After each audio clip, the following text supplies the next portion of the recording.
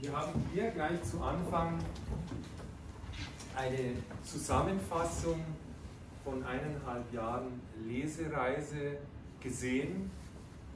Ein turbulentes Jahr liegt hinter dir. Was spürst du oder was kommt dir durch den Sinn, wenn du diese Bilder da im Schnelldurchlauf siehst? Ja, erstmal herzlich willkommen München. Ich freue mich unglaublich hier zu sein. Äh, lange ist es her, dass ich viel mit München zu tun hatte. Nämlich, äh, das war mein ehemaliges Verkaufsgebiet. Äh, damals, 2011 bis 2013, habe ich Gebiet Augsburg-München gearbeitet. Deswegen freue ich mich sehr, hier in München mal heute wieder zu Gast zu sein. Ähm, ja, was geht mir durch den Kopf, wenn ich all diese Bilder in diesem Schnelldurchlauf sehe? Da ist eine Menge passiert im letzten Jahr, mit dem ich auch gar nicht so gerechnet hatte, als ich dieses Buch ähm, auf den Markt gebracht habe. Letztendlich bin ich ja angetreten, um Menschen zu helfen. Und man ähm, weiß aber ja nie, wenn man ein Buch rausbringt, wie viele Leute nehmen das an oder ähm, ja, wie kommt so ein Buch an und ähm, das ist schon, das habe ich ja alles aus eigener Kraft letztendlich aus dem Boden gestampft und jede Lesung habe ich selbst terminiert. Also ich habe ja jetzt, ich habe ja das im Eigenverlag rausgebracht. Sprich, ich habe nicht nur das ganze Projekt finanziert, sondern auch alles konzipiert, alles, äh, die ganze Market, den ganzen Marketing-Strategieplan erarbeitet und letztendlich jede Lesung selbst organisiert und ähm, ja, so ein bisschen Stolz ist schon auch dabei. Ähm, aber ich freue mich einfach, dass ich so unglaublich viele unterschiedliche Begegnungen in diesem Jahr hatte ähm, und im Prinzip so viele Stigmatas abbauen konnte auf dieser Welt. Weil darum geht es mir ja und dass ich, mit, dass ich Mut und Zuversicht äh, in diese Welt hinaustragen kann. Wie reagieren die Menschen auf das? Welche Rückmeldungen bekommst du? Also ich ähm, bekomme durch die Bank weg sehr positives Feedback. Also ich glaube, unter all den Feedbacks, die ich bekommen habe, waren zwei, drei nicht so positive Feedbacks. Ähm, gut, aber das hat mich gestört. Ich glaube, die haben meine Person als solches gestört. Aber äh, niemand hat 100% Zustimmung auf der Welt, nicht mal Jesus hatte das. Auch der hatte einen Jünger, der ihm nicht wohlgesonnen war. Nein, also letztendlich man kann es ja nie allen recht machen. Ich bin aber auch nie angetreten, um Everybody's Darling zu sein. Und all die anderen positiven Stimmen, also wenn auf einer Buchlesung jemand zu einem hinkommt und sagt, Thorsten, ich bin weder schwul noch bipolar noch HIV-positiv, dennoch hat mir das Lesen deines Buches so viel weitergeholfen, denn im Grunde vermittelst du eine Haltung, wie man mit Problemen im Leben umgeht. Das ist schon ein immenses Kompliment, was man bekommt. Ähm, dann hat mich eine Frau angeschrieben, die gerade selbst in einer psychischen Klinik war oder zu dem Zeitpunkt gewesen ist und hat mich gebeten, ob ich ihr fünf Bücher zuschicken könnte mit besonderen Widmungen. Denn sie wollte diese Bücher an ihre beiden Töchter, an ihre Schwester und an zwei Freundinnen äh, versenden, damit sie mehr Verständnis in ihrem eigenen Lebensumfeld bekommt, weil sie sich so sehr in meiner Geschichte wiedergefunden hat selbst. Auch das war ein Riesenkompliment. Dann hat mich ein HIV-positiver Lehrer kontaktiert aus dem Umland von Stuttgart, der sich bedankt hat, dass ich diesen Mut habe, diese Geschichte zu erzählen, weil er einfach sagte, genau Menschen wie dich braucht es, die ihre Geschichte erzählen, auf das in der Gesellschaft ein Umdenken stattfindet. Er in seinem Leben könnte das nicht. Aber er wäre so dankbar, dass es Menschen wie mich gibt. Der hat mich dann zwei Tage später kontaktiert und gesagt, ja, jetzt hätte er sich noch den Podcast der Deutschen AIDS-Hilfe angehört, selbstverständlich positiv, wo ich ja auch eine Folge gesprochen hätte und das sei ja auch so wunderbar gewesen wie mein Buch. Und die mit Abstand beeindruckendste Begegnung, die ich hatte, war in Stuttgart. Da ist jemand auf mich zugekommen im Rubens der Schwulenbar Stuttgarts und äh, sagte nur, Thorsten, ich bin so dankbar, dass ich dich hier treffe. Ich muss mit dir jetzt unter vier Augen sprechen. Also es ich möchte nicht viel zu dieser Person sagen, außer dass sie in einem sehr konservativen Umfeld lebt.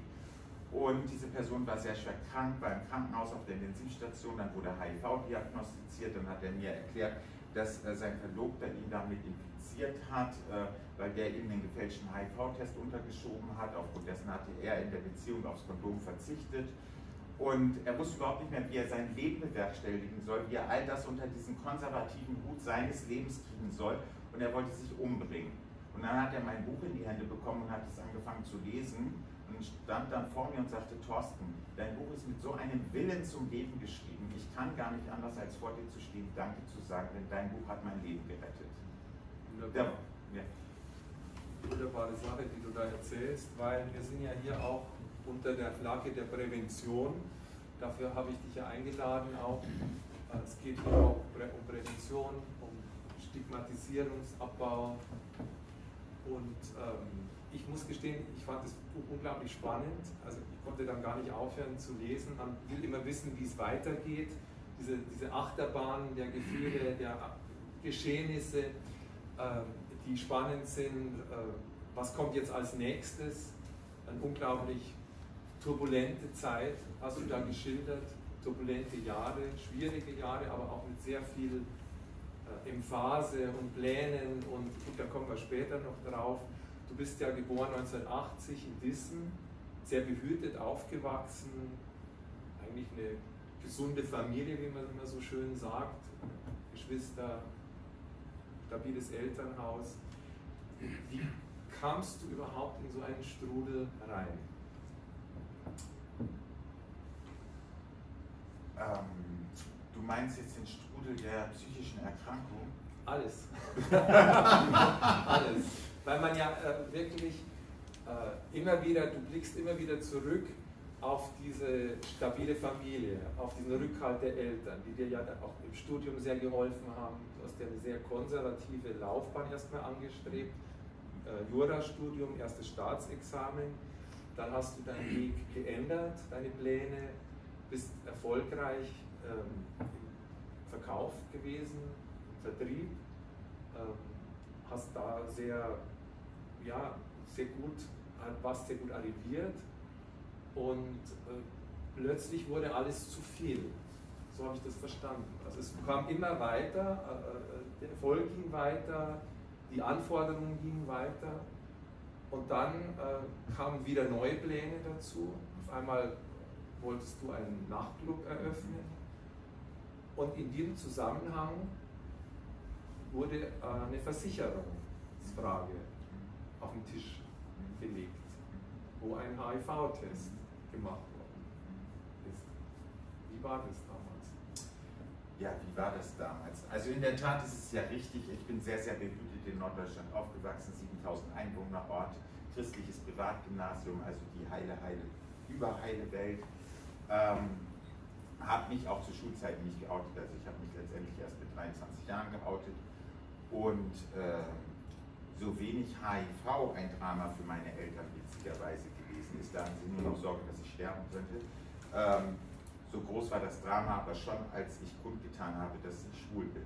Also da war halt eher so das Statement, oh Gott, was sollen die Nachbarn sagen und wieso musstest du das deinen Schulfreundinnen sagen? Du lebst weit weg in Tübingen, wir müssen mit der Schande leben. Also da sind schon auch Sätze gefallen, die nicht so schön waren.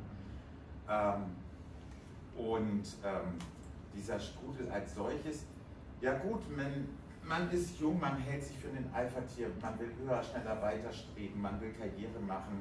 Ähm, das juristische Staatsexamen habe ich bestanden, aber nicht mit einer Note, wie ich es gerne gehabt hätte. Ich wollte immer Richter oder Staatsanwalt werden. Ich wollte nie in die Verlegenheit kommen, als äh, Anwalt jemanden vertreten zu müssen, äh, weil ich das Geld benötige. Ich wollte letztendlich für mehr Gerechtigkeit auf der Welt sorgen. Und äh, da war meine Note im Staatsexamen aber nicht, nicht gut genug.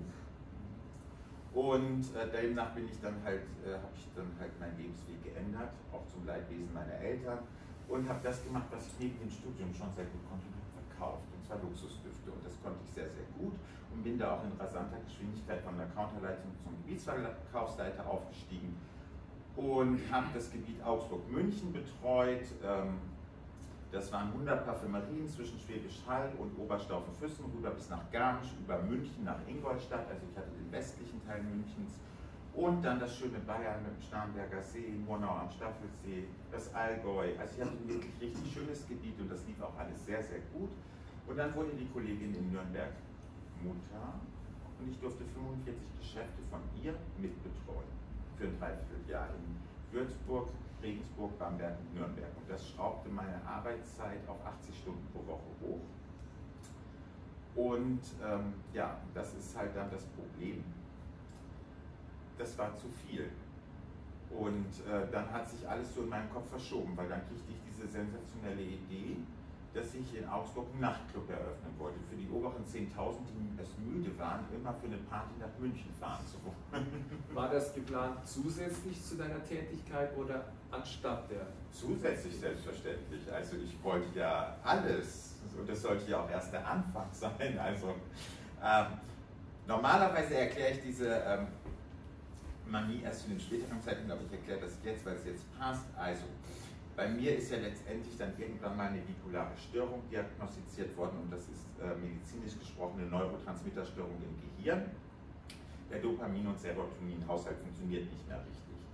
Allerdings bricht das nur bei Menschen aus, die das genetisch veranlagt haben. Man muss noch eine genetische Veranlagung haben. Ich habe das von äh, meiner Oma mütterlicherseits, aber das habe ich nicht gewusst, dass das in mir schlummert. Und ähm, es wird davon ausgegangen, dass der Ausbruch ähm, mit der Überschreitung einer persönlichen Stresskante zusammenhängt. Und bei mir waren halt neun Monate, 80 Stunden Arbeit pro Woche die persönliche Stresskante, die ich überschritten habe.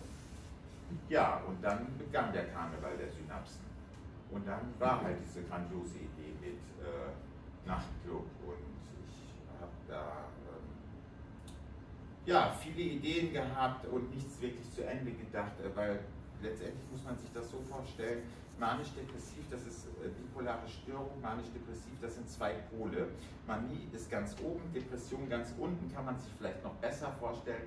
Eine Manie ähm, ist fast gar nicht zu beschreiben für jemanden, der das nicht erlebt hat. Ich versuche das immer so zu beschreiben, dass ähm, häufig einhergeht dieser Realitätsverlust zum Geld dann normalerweise hat man so einen nötigen Respekt und eine Distanz zu Menschen. Also ein LKW hat ja auch so Abstandshalter, dass ihn dann niemand so in diese Sicherheitssphäre reitet. Den hat ein manischer Mensch zu fremden Menschen nicht mehr sonderlich. Und ähm, man hat tausend Ideen, die den Kopf kommen. Man fängt an, da so das eine umzusetzen, dann macht man das zweite oder das fünfte weiter von den Ideen, springt wieder zurück, dann kommen nochmal tausend Ideen. Im Prinzip der Kopf platzt fast ähm, voller Ideen und man setzt gar nichts richtig um. Also es funktioniert nichts äh, mehr so richtig, weil man nicht wirklich so auf seinen Kopf so richtig zugreifen kann. Hinzu kommt erschwerend, dass man aber immer im Recht ist. Also egal, was alle anderen sagen, man selbst hat Recht. Es ist nicht ein Geisterfahrer, sondern hunderte von Geisterfahrern. Und auch wenn die Liste der verbrannten Erde immer länger wird, man hat trotzdem Recht. Also man ist ein hoch anstrengender Mensch für sein Umfeld. Also das ist definitiv Fakt. Es ist ja so, dass es ähm, Momente im Leben gibt, eigentlich fast von jedem Menschen, wo sich irgendwas ändert, wo ein Geschehnis ähm, da ist äh, und Sachen wie ein Schalter umgestellt werden. Es gab mal vor fast 15 Jahren, hat der inzwischen verstorbene Roger Willemsen ein interessantes Buch geschrieben, das heißt Der Knacks. Und in diesem Buch Der Knacks heißt es, dass in, fast in jedem Leben ein Moment gibt, von dem aus schrittweise und schleichend sich Dinge völlig verändern. Und dass danach eigentlich nie mehr so was war wie vorher. Also das ist, da kommen Prozesse in Gang, das kann, können Altersprozesse sein, das kann ein Tod eines geliebten Menschen sein, das kann aber auch eine Erkrankung sein, es kann vielleicht ein Abschluss sein, ein Studium, den man nicht schafft und dann einen anderen Weg einschlägt. Äh, hattest du das Gefühl, weil du sagst jetzt, es kam die Überanstrengung, es kam der Stress, der fast nicht zu bewältigen war und dann hat sich diese bipolare Störung ausgeprägt, die ja schon genetisch auch veranlagt war. Hast du das Gefühl oder kannst du dich erinnern, wie diese Zeit war, wo du gespürt hast, jetzt verändert sich was? Weil das kann man oft dann Jahre später noch benennen, aber das war zu dieser Zeit. Oder ist das über ganz lange Zeit? Oder war das ein bestimmter Zeitrahmen? du gesagt, das war in diesem Monat oder wo du es ganz stark gemerkt hast? Kannst du das nee, noch benennen? Ich, ich kann das so in der Tat nicht benennen. Also ich habe, also eine bipolare Störung verläuft ja bei jedem auch ein bisschen anders. Also es gibt Menschen, die haben Rapid Cycling, die wechseln ihre Stimmung täglich mehrfach. Und ich hatte eine sehr ausgeprägte, bestimmt über vier bis fünf Monate gehende Manie, bevor ich dann eine ganz schlimme Depression bekam. Also eine Hochphase. Ja, eine sehr hohe Hochphase mit ähm, Residenz im Adlon und allem, was dazugehört. Also, ich, also es war wirklich sehr schwerst manisch. Ähm, und mein ganzes Umfeld hat das irgendwie schon auch, äh, glaube ich, ab einem gewissen Punkt viel eher realisiert, ob das jetzt meine Familie war, meine Freunde waren. Ähm, also ich habe das erst sehr viel später, also auch die Ärzte haben das alle viel eher gewusst, als ich das selbst irgendwie wahrhaben wollte. Der schwierigste Punkt in der Krankengeschichte ist ja diese Introspektionsfähigkeit, äh, quasi, dass man das selbst ähm, realisiert. Aber ich kann jetzt nicht äh, beschreiben, dass da irgendwie ein Knacks war, ähm, der mich dazu geführt hat. Ich würde eher sagen, dass diese Krankengeschichte, äh, die ich durchgemacht habe, bipolare Störung plus HIV, in meinem Leben ein Knacks war, der mich aber in ein viel besseres Leben umgeleitet hat, weil ähm, ich war früher ein, immer ein sehr, sehr getriebener, hektischer Mensch. Es mag sein, dass man einer mein Instagram-Profil immer noch so empfindet, aber der private Thorsten Bronkohl hat nicht mehr äh, dieses Gefühl des Getriebenseins. Also ich kann so gut einen Freitag oder einen Samstagabend zu Hause sitzen und ein Buch lesen. Ähm, letztendlich äh, hat, konnte ich das früher nie. Ich musste immer ausgehen. Also und wenn in der ersten Schwulenkneipe niemand zu finden war, der optisch gut aussah, dann geht man noch in die zweite, in die dritte, meinetwegen auch noch in die vierte. Ähm, das habe ich heute alles so nicht mehr. Aber ich habe einen Lebenszeugen hier heute sitzen im Publikum, meinen guten Freund Harald, der das alles auch hautnah damals miterlebt hat. Vielleicht kann der von außen was dazu sagen, wie er das empfunden hat. Jetzt muss ich irgendwas sagen. mitgehangen, mitgefangen, mitgefangen, mitgehangen. Nein, nur wenn Ja, also ich denke, der, äh, so wie du gesagt hast, dass es ähm, von Außenstehende, also ähm, eher mitkriegen, das war der Fall. Also ich habe damals auch in Stuttgart gewohnt und ähm, doch zum engen Freundeskreis zu der Zeitpunkt in der Klinik gewesen und äh, ja, also wir haben alle, also ich darf das jetzt so ausdrücken, haben alle gesagt, ja, jetzt ist ja abgeschnitten. ja, also wortwörtlich so, weil, wie schon gesagt, mit dem Nachtclub und alles, da kamen Hochglanzbroschüre, da kamen T-Shirt bedruckte, da kamen sonstige Werbeartikel, wo natürlich auch ein Freund, der in der Werbebranche, der hat den Auftrag bekommen, für Tausende von Euro das zu produzieren und ja, ist aber dann nicht die Gefahr, dass gerade wenn, man in einer manischen Phase sich befindet, die Aktivitäten doch welche sind oder die Attitüde, die gesellschaftlich sehr akzeptiert ist. Ja? Man gibt viel Geld aus, man äh, ist schwer, man äh, möchte erfolgreich sein. Das sind ja alles erstmal positiv konnotierte äh, äh, gesellschaftliche Begriffe. Und dass dadurch so eine Diagnose vielleicht verschleiert sogar wird über längere Zeit, weil das ist ja was, wo man eigentlich gut verkaufen kann. Ja, also ich glaube schon, dass manische Menschen ähm, haben quasi ähm, eine Strahlkraft. Die können sehr überzeugen, die können Leute in ihren Bann ziehen. Und solange du Geld hast, und ich meine, es war für mich ein leichtes als Gebietsverkaufsleiter, ich habe mal gerade, ohne mit der Wimper zu zucken, zwei Kredite aufgenommen, einmal 50.000 Euro bei meiner Hausbank und am gleichen Tag unterschrieben. 25.000 Euro bei der Bank und habe bei beiden ja angekreuzt, ich habe aktuell keinen Kredit. Stimmte ja auch in der Sekunde. Als ich die Kreuze gesetzt habe, hatte ich keinen Kredit. So. Und dann, dann hatte ich erstmal 75.000 75 Euro und damit kann man ja erstmal schon ein bisschen was machen. Ähm, dass ich natürlich irgendwie in meiner Gesamtrechnung irgendwie das mit diesem, was ich da sonst noch alles an Kosten für den Nachtclub eigentlich dann mal aufbringen müsste, naja, das hatte ich irgendwie ein bisschen falsch berechnet. Aber ich hatte Geld für Marketing, ich habe ganz Augsburg zuplakatieren lassen, äh, irgendwie mit so Nachtclub-Plakaten und der Harald schon ein T-Shirt, äh, Werbegeschenke, alles Mögliche. Also ich habe auch einen Radiowerbespot produziert lassen, weil Radio geht ins Ohr und bleibt im Kopf. Und also ich hatte wirklich großartige Ideen. Und hätte ich mehr Geld gehabt, wer weiß, wie mein Leben verlaufen wäre. Vielleicht wäre ich erfolgreicher Nachtclubbesitzer, aber Gott bewahre, es ist alles gut, wie es ist. Genau. Ähm, ich, äh, ich ähm, versuche die Manie auch sonst immer mit diesen Bildern zu beschreiben, dass man wie so ein Raumschiff durch die Welt fliegt. Und ich habe zwar nie Drogen in meinem Leben genommen, allerdings glaube ich, dass eine Manie wie 50 Linien Koks gleichzeitig sind. Also dass man wirklich, wie Harald das gerade so schön sagt, man ist völlig übergeschnappt, man ist völlig oben drüber und auch überhaupt nicht äh, zu ärgern. beschreibst hier auch diese Phasen, äh, als es dann dazu kam, dass du Medikamente nehmen solltest, als große Angst, also es kamen große Ängste auf, du, erzählst mehrfach davon, wie du, wie du äh, Angst hattest, dein Genie zu verlieren. Äh, das fand ich eine ganz interessante Formulierung, denn ich selber komme ja auch aus dem kreativen, musikalischen Bereich und da gibt es viele Menschen, auch sehr geniale Menschen, die an bipolaren Störungen leiden. Beispielsweise der Carlos Kleiber war, äh, der war jetzt manisch-depressiv, der Otto Klemperer, ein berühmter Dirigent, äh, das waren unglaublich kreative Menschen und wie das, was du vorher gesagt hast, große Strahlkraft, große Energie dahinter und du hast öfter von dem Genie gesprochen.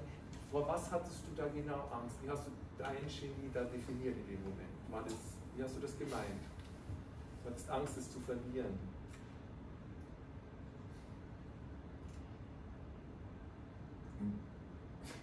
Also, ein manischer Mensch, also das Genie als solches ist gar nicht genau definiert. Man hält sich einfach für, für einen Genie. Also ich habe das ja gar nicht hinterfragt, was ich jetzt genau an mir für, ja. für generös, geniehaft halte, sondern ich habe mich einfach für ein Genie gehalten und hatte halt einfach Angst, dass ich mein, ja, mein Wesen als solches durch irgendwie diese Medikamente verlieren könnte. Und dieses Wesen als solches, das habe ich halt als etwas sehr Besonderes empfunden und das bezeichne ich halt so als Genie. Aber es ist jetzt nicht so gewesen, dass ich irgendetwas explizit als Mega-Genie bezeichnet hätte an mir. Ist, die, ist diese Befürchtung dann letztendlich eingetreten, dass du das Gefühl hattest danach, ich bin jetzt nicht mehr der Thorsten von früher, ich, mir fehlt der Antrieb, mir fehlt diese, dieser Höhenflug Könntest du das so sagen, dass sich das dann in gewisser Weise auch bewahrheitet hat, dass da was weggebrochen ist durch eine Medikation, durch eine Behandlung? Also dass da was fehlt jetzt? Nein, ich sehe meinen äh, Lebensweg als sehr, sehr positiv an und ähm, ich bin aber auch so ein lebensbejahender, pragmatischer Optimist und versuche immer in allem Negativen auch das Gute zu sehen, wobei ich da gar nichts großartig Negatives sehe, weil es ist alles gut so, wie das gekommen ist. Ich habe eben schon mal gesagt, ich habe dieses Getriggerte nicht mehr in mir dieses Halt- und Rastlose nicht mehr in mir.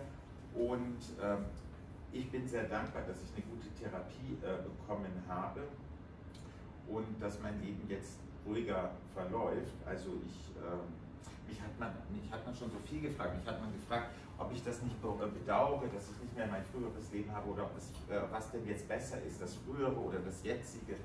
Das kann man natürlich alles schlecht miteinander vergleichen ich auch, war auch unglaublich gerne Gebietsverkaufsleiter für diese Luxusduftfirma, äh, aber es hat mich unglaublich krank gemacht. Und äh, äh, ich lebe jetzt ein deutlich gesünderes, achtsameres Leben mit mir selbst. Und wenn man mal so einen Schiffbruch erlitten hat, egal ob jetzt körperlich oder psychische Erkrankung, dann geht man ganz anders mit seinem Leben um. An erster Stelle steht seine mentale Stabilität, seine Gesundheit, Achtsamkeit mit sich selbst und ähm, und da kümmert man sich auch sehr viel drum. Und ich äh, sage immer, die beste Achtsamkeitsübung, ähm, die man machen kann, um mh, quasi auch so ein bisschen runterzukommen, um sich aus dem hektischen Alltag auszublenden, ist und das sage ich jetzt nicht, weil ich zufällig ein gutes Buch dabei habe, aber ist, sich wirklich in einen Sessel zu setzen und ein Buch zu lesen. Weil beim Lesen eines Buches blendet man komplett die hektische Welt um sich herum aus, die völlig übertriggert mit Facebook, Instagram, TikTok oder sonst was ist, mit allen sozialen Medien. Das blendet man in diesem Moment aus und konzentriert sich auf das, was man liest. Und solange das funktioniert, funktioniert der Kopf auch noch gut. Wenn das nicht mehr funktioniert, sollte man erstens ganz schnell ganz viel spazieren gehen, weil das ist auch eine wunderbare positive Aktivität. Und man sollte sich einen Termin bei einem greifbaren äh, Psychologen suchen, weil wenn man sich nicht mehr auf ein Buch konzentrieren kann zum Lesen, dann läuft was schief im Kopf, weil dann ist da wirklich was in der Dissonanz. Bevor wir jetzt, äh, bevor ich lesen darf, ja, wollte ich dich noch fragen, als du diese, wir haben ja schon von dieser Diagnose jetzt gesprochen, die du bekamst. Mhm was hat dich in dem Moment gehalten, dass du da nicht in einen, du schilderst es ja sehr schön, was, welche Gefühle da aufkamen dann nach der Diagnose, aber es ist insgesamt, merkt man in den ersten Kapiteln, wenn es darum geht, dass so dein Leben irgendwie doch weitergeht. Dann kommen die Pläne, dann bereitest du wieder den Nachtclub vor, dann gehst du wieder in eine Bar und dann denkt man, ja, was ist jetzt mit dieser Diagnose? Was hat dir da geholfen, dass du da nicht in diesen Abgrund gefahren bist, was ja viele dann fallen, wenn sie mit HIV-Diagnose Yes, in der Tat muss ich sagen, mein Glück in diesem Unglück war tatsächlich diese Doppeldiagnose. Das habe ich auch in, ähm, in dem großen Sterninterview, was ich zum Welt-AIDS-Tag hatte, äh, so kundgetan, dass letztendlich ähm, meine Manie, meine Manie äh, mich meine HIV-Diagnose so viel besser hat äh, durchstehen, durchleben lassen. Denn letztendlich muss man sich das ja so vorstellen. Meine Manie hat mich quasi eingesogen, die hat mich erst Monate später wieder ausgespuckt. Und ich hatte in dieser ganzen Zeit, wo das ja eigentlich diese Zeit wäre, du erfährst die Diagnose, und äh, das gibt ganz viele traurige Gedanken, es gibt ganz viele schlimme Momente, es gibt vielleicht sogar Selbstmordgedanken oder so. Da hatte ich gar keine Zeit für. Da war ich ja völlig manisch auf einem ganz anderen Planeten unterwegs. Und das war auf der anderen Seite natürlich mein Glück, weil ich diese, weil ich da ähm, diese Dramatik, ich hatte keine Zeit für diese Dramatik der Diagnose gegenüber. So würde ich das beschreiben aus heutiger Perspektive. Weil du gerade auch sagst, Stern, Interview. Du hast ja einen, einen ganz tollen Artikel im Mannschaftsmagazin, sehr empfehlenswert zu lesen. Ist vor zwei Tagen rausgekommen, stimmt. ja, ich ja, freue mich jetzt auf das Kapitel. Ja, der, das Mannschaftsmagazin, Moment, das ist auch nochmal schön zu zeigen, weil die haben ganz quietsche Geld. Werden die Synapsen Karneval feiern, heißt der Artikel. Es ist sehr zu empfehlen. Genau. Wir freuen uns jetzt auf das Jetzt darf ich lesen? Sehr gerne. Dankeschön noch einen Schluck Wasser. Und jetzt muss ich erstmal noch einen Hinweis geben.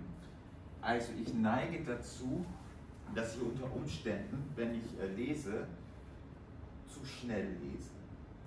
Dann könnt ihr aber einfach reinrufen und sagen, stopp, das jetzt deutlich zu schnell. Dann versuche ich wieder etwas langsamer zu lesen.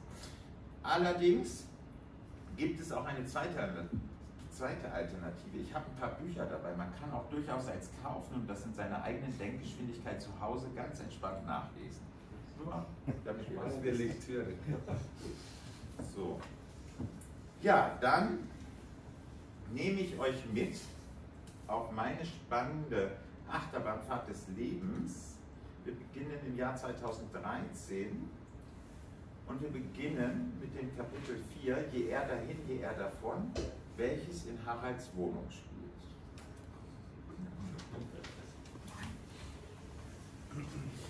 Da stand ich nun auf dem Balkon von Haralds Wohnung mit Blick über Stuttgart. Es war eisig kalt, aber meine Bogner Feier- und Eisdaunenjacke und mein Burgundy-Schal wärmten mich äußerlich. Innerlich war ich beim Lesen der E-Mail quasi erfroren, besser gesagt zu einer Salzsäure erstarrt. Ich zündete mir eine rote Bouloise an, nahm einen tiefen Zug, ließ den Rauch in die Luft, las nochmals Katrins Worte, schloss das E-Mail-Programm und wählte ihre private Telefonnummer. Es tat so verdammt gut, in diesem Moment ihre vertraute Stimme zu hören. Sie entschuldigte sich immer und immer wieder, dass sie mir diese E-Mail schreiben musste. Aber sie hatte meine aktuelle Handynummer verlegt und konnte mich anderweitig nicht erreichen. Ich sagte nur, dass sie sich dafür nicht entschuldigen müsse und dass es ist, wie es ist. Ich war erschrocken rational in diesem Moment. Wochen vorher hatte ich im Zuge der geplanten Cluberöffnung und der Finanzierung des Ganzen einen Kredit in Höhe von ein paar hunderttausend Euro aufnehmen wollen. Und als Sicherheit sollte unter anderem eine Lebensversicherung dienen. Für den Abschluss dieser Lebensversicherung benötigte ich einen aktuellen HIV-Test.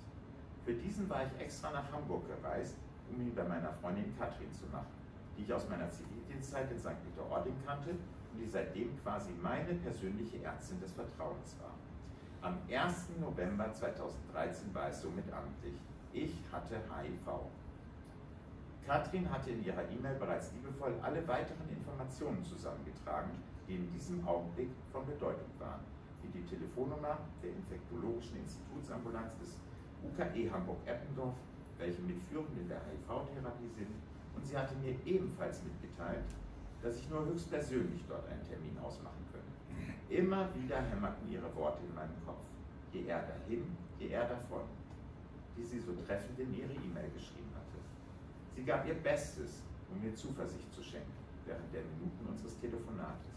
Wie bereits angesprochen, war ich erstaunlicherweise sehr rational in diesem Moment. Immerhin ging es um nichts Geringeres als meine Gesundheit und mein Leben. Aber irgendwie machte sich in mir der Slogan, es ist wie es ist und nun müssen wir das Beste daraus machen, frei. Und ich versprach Katrin, mich umgehend um einen Termin zu kümmern und sie auf den Laufenden zu halten. Nach Beendigung des Telefonates steckte ich mir noch eine rote Gouloise an, nahm mehrere tiefe Lungenzüge, blickte auf Stuttgart, welches mir zu Füßen lag, und mir rannen ein paar Tränen die Wangen herunter. Ich ließ die Tränen von der eiskalten Luft trocknen. Nachdem ich zu Ende geraucht hatte, holte ich tief Luft, ging wieder rein, setzte mich an den Tisch zu meinen Freunden, frühstückte weiter, als wenn nichts sei, und scherzte und lachte mit ihnen. Denn egal was kommen würde, in diesem Moment wollte ich einfach nur den Moment der Normalität für mich festhalten und so tun, als wäre nichts geschehen.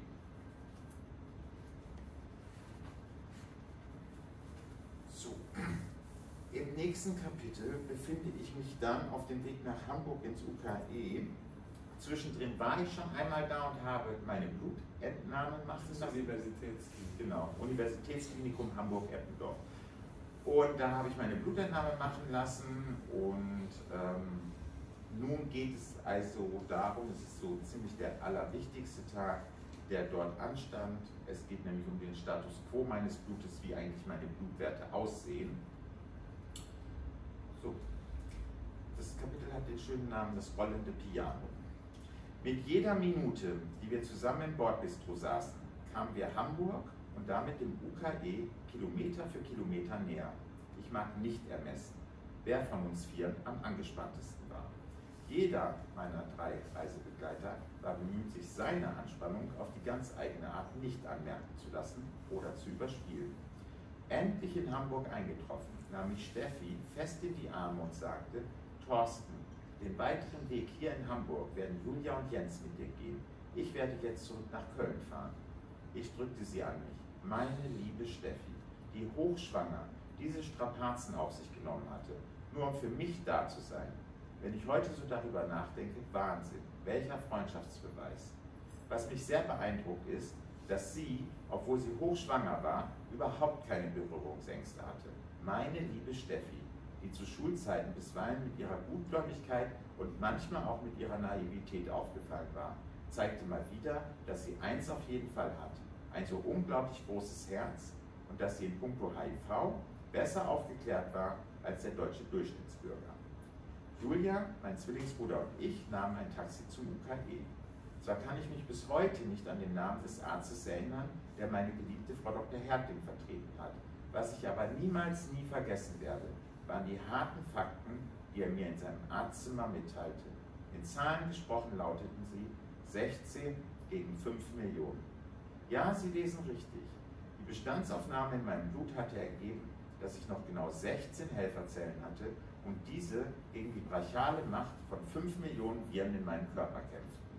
Das war ein Ergebnis quasi kurz vor Tod. Dies nannte sich anhand der Anzahl der Helferzellen AIDS und nicht mehr HIV. 16 gegen 5 Millionen. Hilfe. Aus dem Gespräch mit Frau Dr. Hertling ein paar Tage zuvor wusste ich, wenn sich die letzte Helferzelle verabschiedet hat, dann ist da nichts mehr, was die Waage wieder umdreht. Dann gibt es nichts mehr im Körper, was gegen die Viruslast ankämpfen kann. Dann helfen keine Medikamente mehr, denn diese vermehren ja nur die Helferzellen. Doch null kann man nicht vermehren. Folglich war ich völlig schockiert über die Zahl 16. Aber auch hier half mir in dieser Situation wieder mein Pragmatismus. Als der Arzt mit einem ausführlichen Monolog und einer Erklärung über die Gesamtsituation begann, unterbrach ich ihn direkt mit den Worten, habe ich das richtig verstanden? Wenn ich keine Helferzellen mehr habe, sterbe ich. 16 hatte ich am Tag der Blutentnahme, also eine Woche zuvor. Das liegen die mit Abstand anstrengendsten Tage meines Lebens hinter mir. Also verschwenden Sie bitte nicht meine Zeit. Geben Sie mir das Rezept für die Tabletten und sagen mir, wo ich die nächste Apotheke finde. Ich benötige jetzt keine weiteren Informationen, sondern einfach nur die erste Pille, die mir vielleicht das Leben rettet. Fassungslos gab er mir das Rezept und wir eilten zur Apotheke, wo ich am Tresen stand und als Privatpatient die 2000 Euro für die lebensrettende Medizin vorzustrecken hatte. Gott sei Dank besaß ich nicht nur eine Kreditkarte, um diese Rechnung zu zahlen.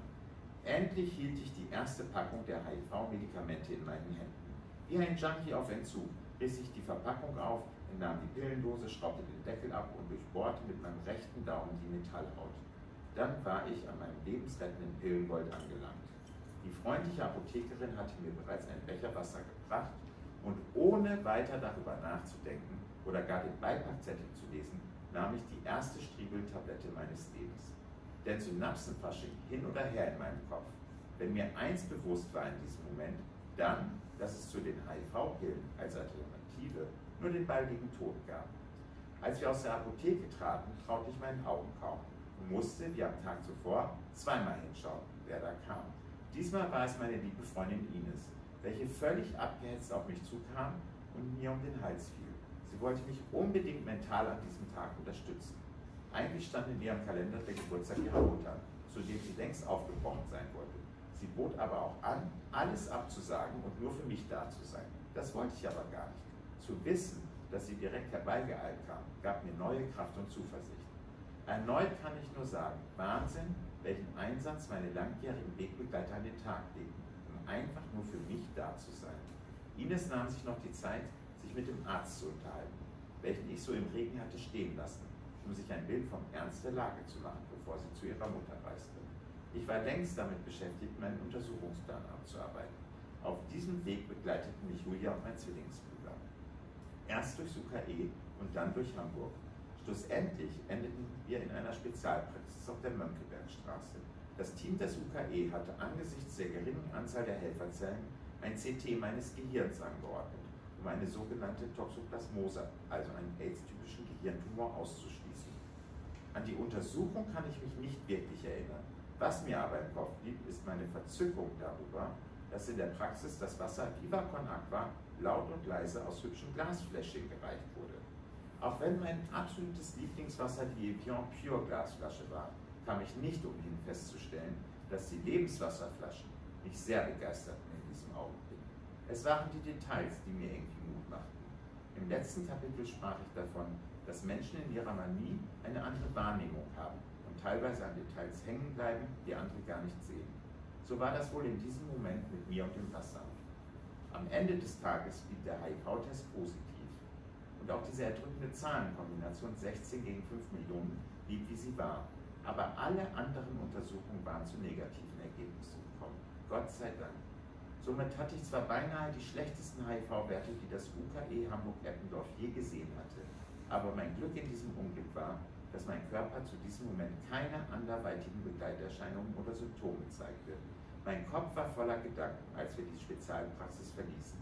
Die Zahlen 16 gegen 5 Millionen waren nicht aus dem Kopf zu bekommen. Und zugleich klammerte ich meine Hoffnung an die als hochwirksam geltenden HIV-Tabletten und die Tatsache, ansonsten keine weiteren Symptome für AIDS zu haben. Das konnte doch alles gar nicht wahr sein. Ich war gerade 33 Jahre jung das war definitiv noch kein Alter zum Sterben. Never ever.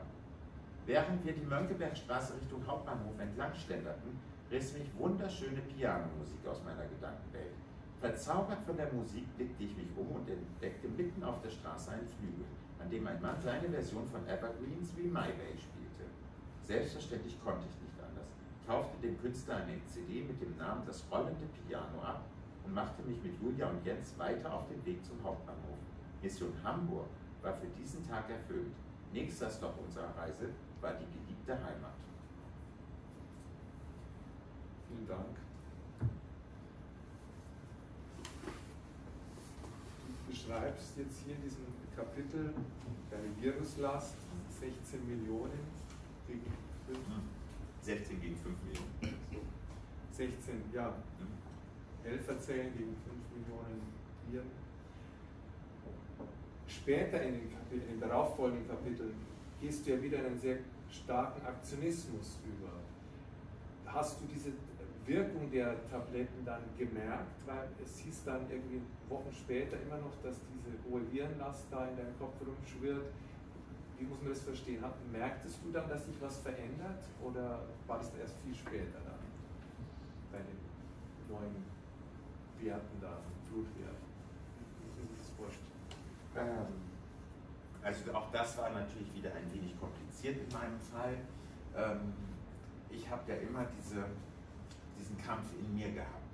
Auf der einen Seite ging es um dieses Überleben, um diese Angst, äh, dass HIV äh, stärker sein könnte und auf der anderen Seite diese, dieser unglaubliche Freiheitsdrang und Kampf, äh, der von der bipolaren Störung, von der Manie quasi ausgelöst worden war. Und das kämpfte auch immer so gegeneinander und ähm, dann hatte ich ähm, mit Striebel letztendlich eines der schlechtesten Medikamente bekommen, die ich hätte kriegen können als psychisch Erkrankter, weil Striebel auf die Psyche des Menschen geht. Und das hat ja meinen meine Manie noch getriggert. Also das hat die noch potenziert und noch verschlimmert. Und ähm, ja, auch wenn ich da vielleicht was vorwegnehme jetzt, aber letztendlich ist es so gewesen, ich hatte wirklich über einen langen Zeitraum Angst, ähm, ähm, weil ich hatte dann auf einmal so einen roten Hautausschlag, äh, dann hat die Charité, diese Wunderklinik, äh, gedacht, ich sei allergisch auf das HIV-Medikament, hat das abgesetzt, obwohl ich mal gerade mühsam 100 Helferzellen aufgebaut hatte. Ja, äh, und äh, am Ende war das gar keine Allergie, sondern eine simple Kretze, die auch die Charité hätte erkennen dürfen, können, müssen, sollen.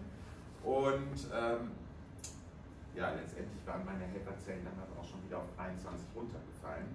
Was man aber dazu sagen muss, ist, äh, dass die Medikamente heutzutage ja so sensationell sind und das auch schon im Jahr 2014 gewesen sind, dass meine brachiale Viruslast von 5 Millionen war dann, glaube ich, im März 2014 schon unter der Nachweisgrenze.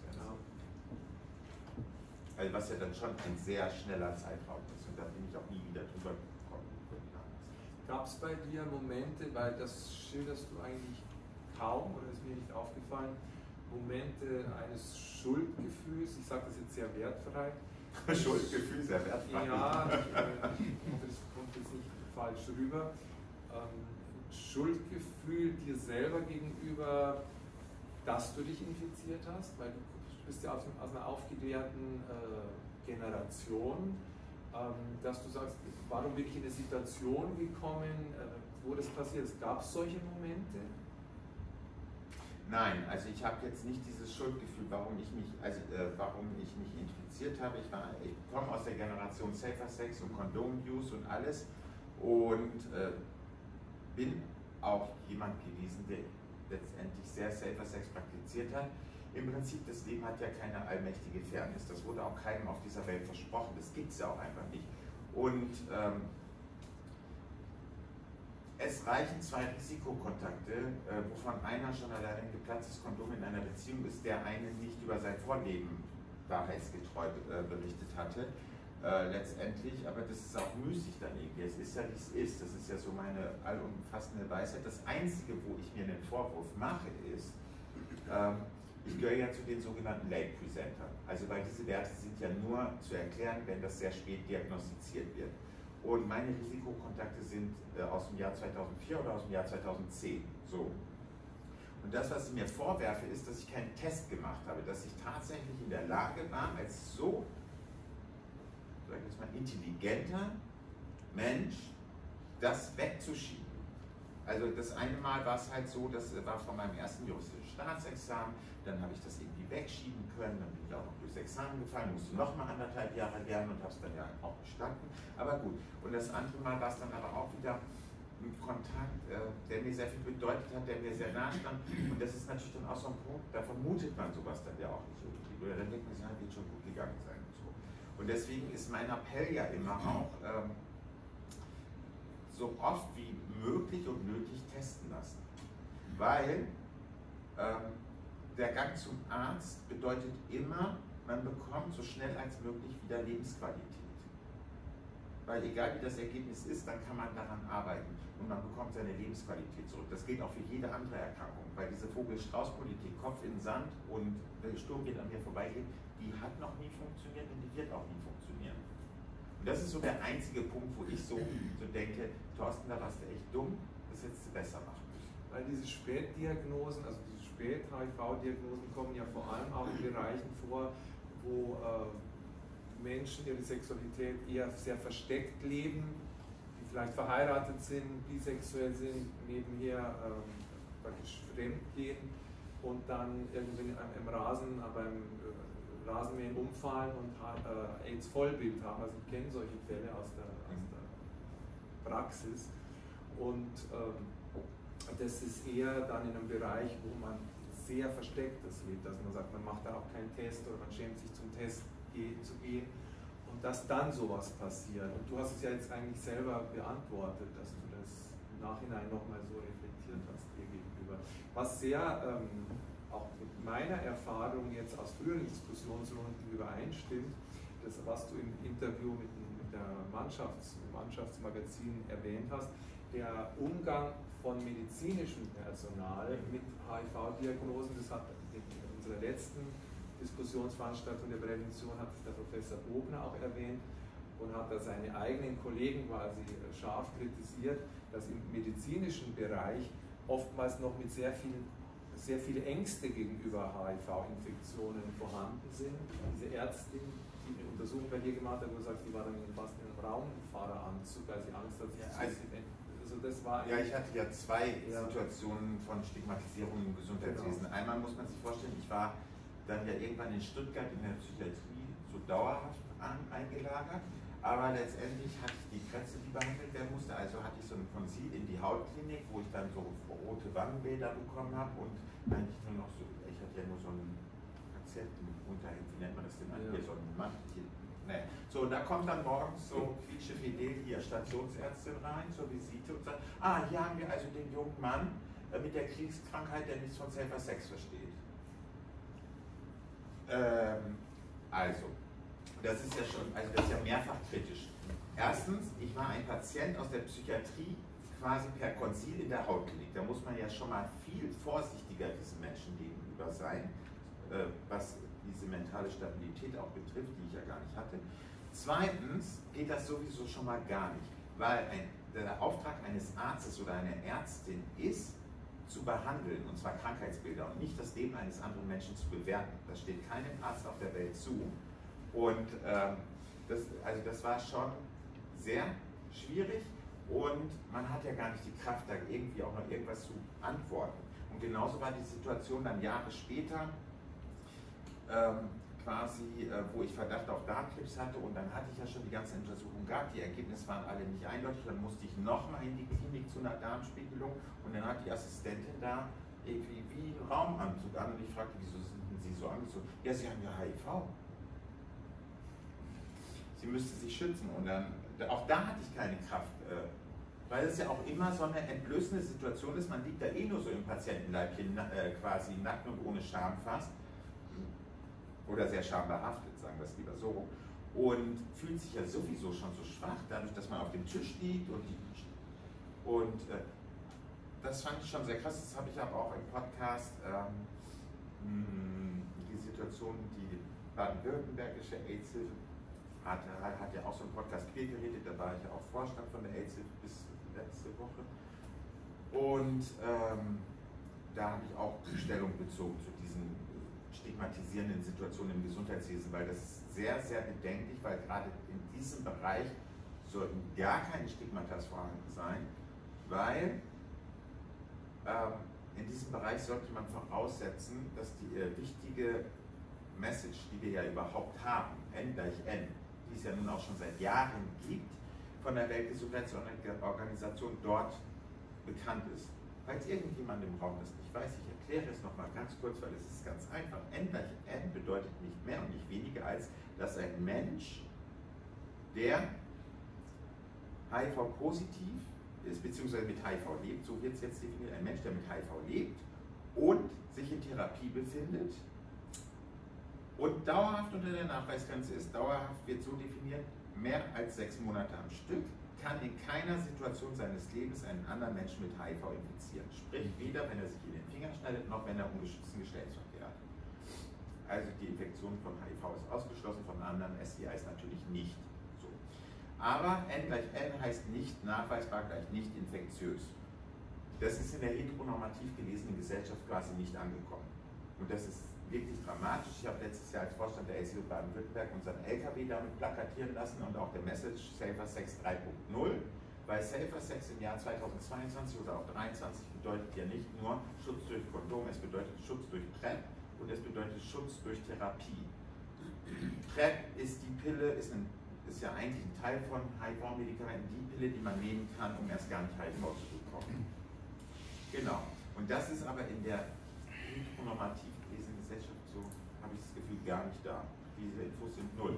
Wie gingst du äh, oder wie gehst du äh, mit der ganzen intersektionalen Problematik um? Intersektionalität heißt Mehrfachdiskriminierung, also es geht ja um Homosexualität, es geht um HIV-Infektion, es geht um bipolare Störung.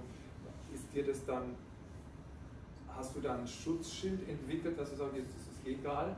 Oder dass du da noch sehr sensibel auf solche Angriffe, wie wir es gerade von einer Ärztin oder von solchen Kommentaren wie gehst du da damit um? Ja, also damals war das, damals war das alles nicht so easy going. Also ich meine, in meiner, in meiner ersten Zeit, wo ich ja so schwer manisch war und dann die einfach, also da bin ich da sehr, also da habe ich, die ganze, ich die ganze Welt informieren wollen, äh, weil ich bin ja auch außerordentlich Christus gekündigt worden und das musste ja auch jeder erfahren und alles und überhaupt.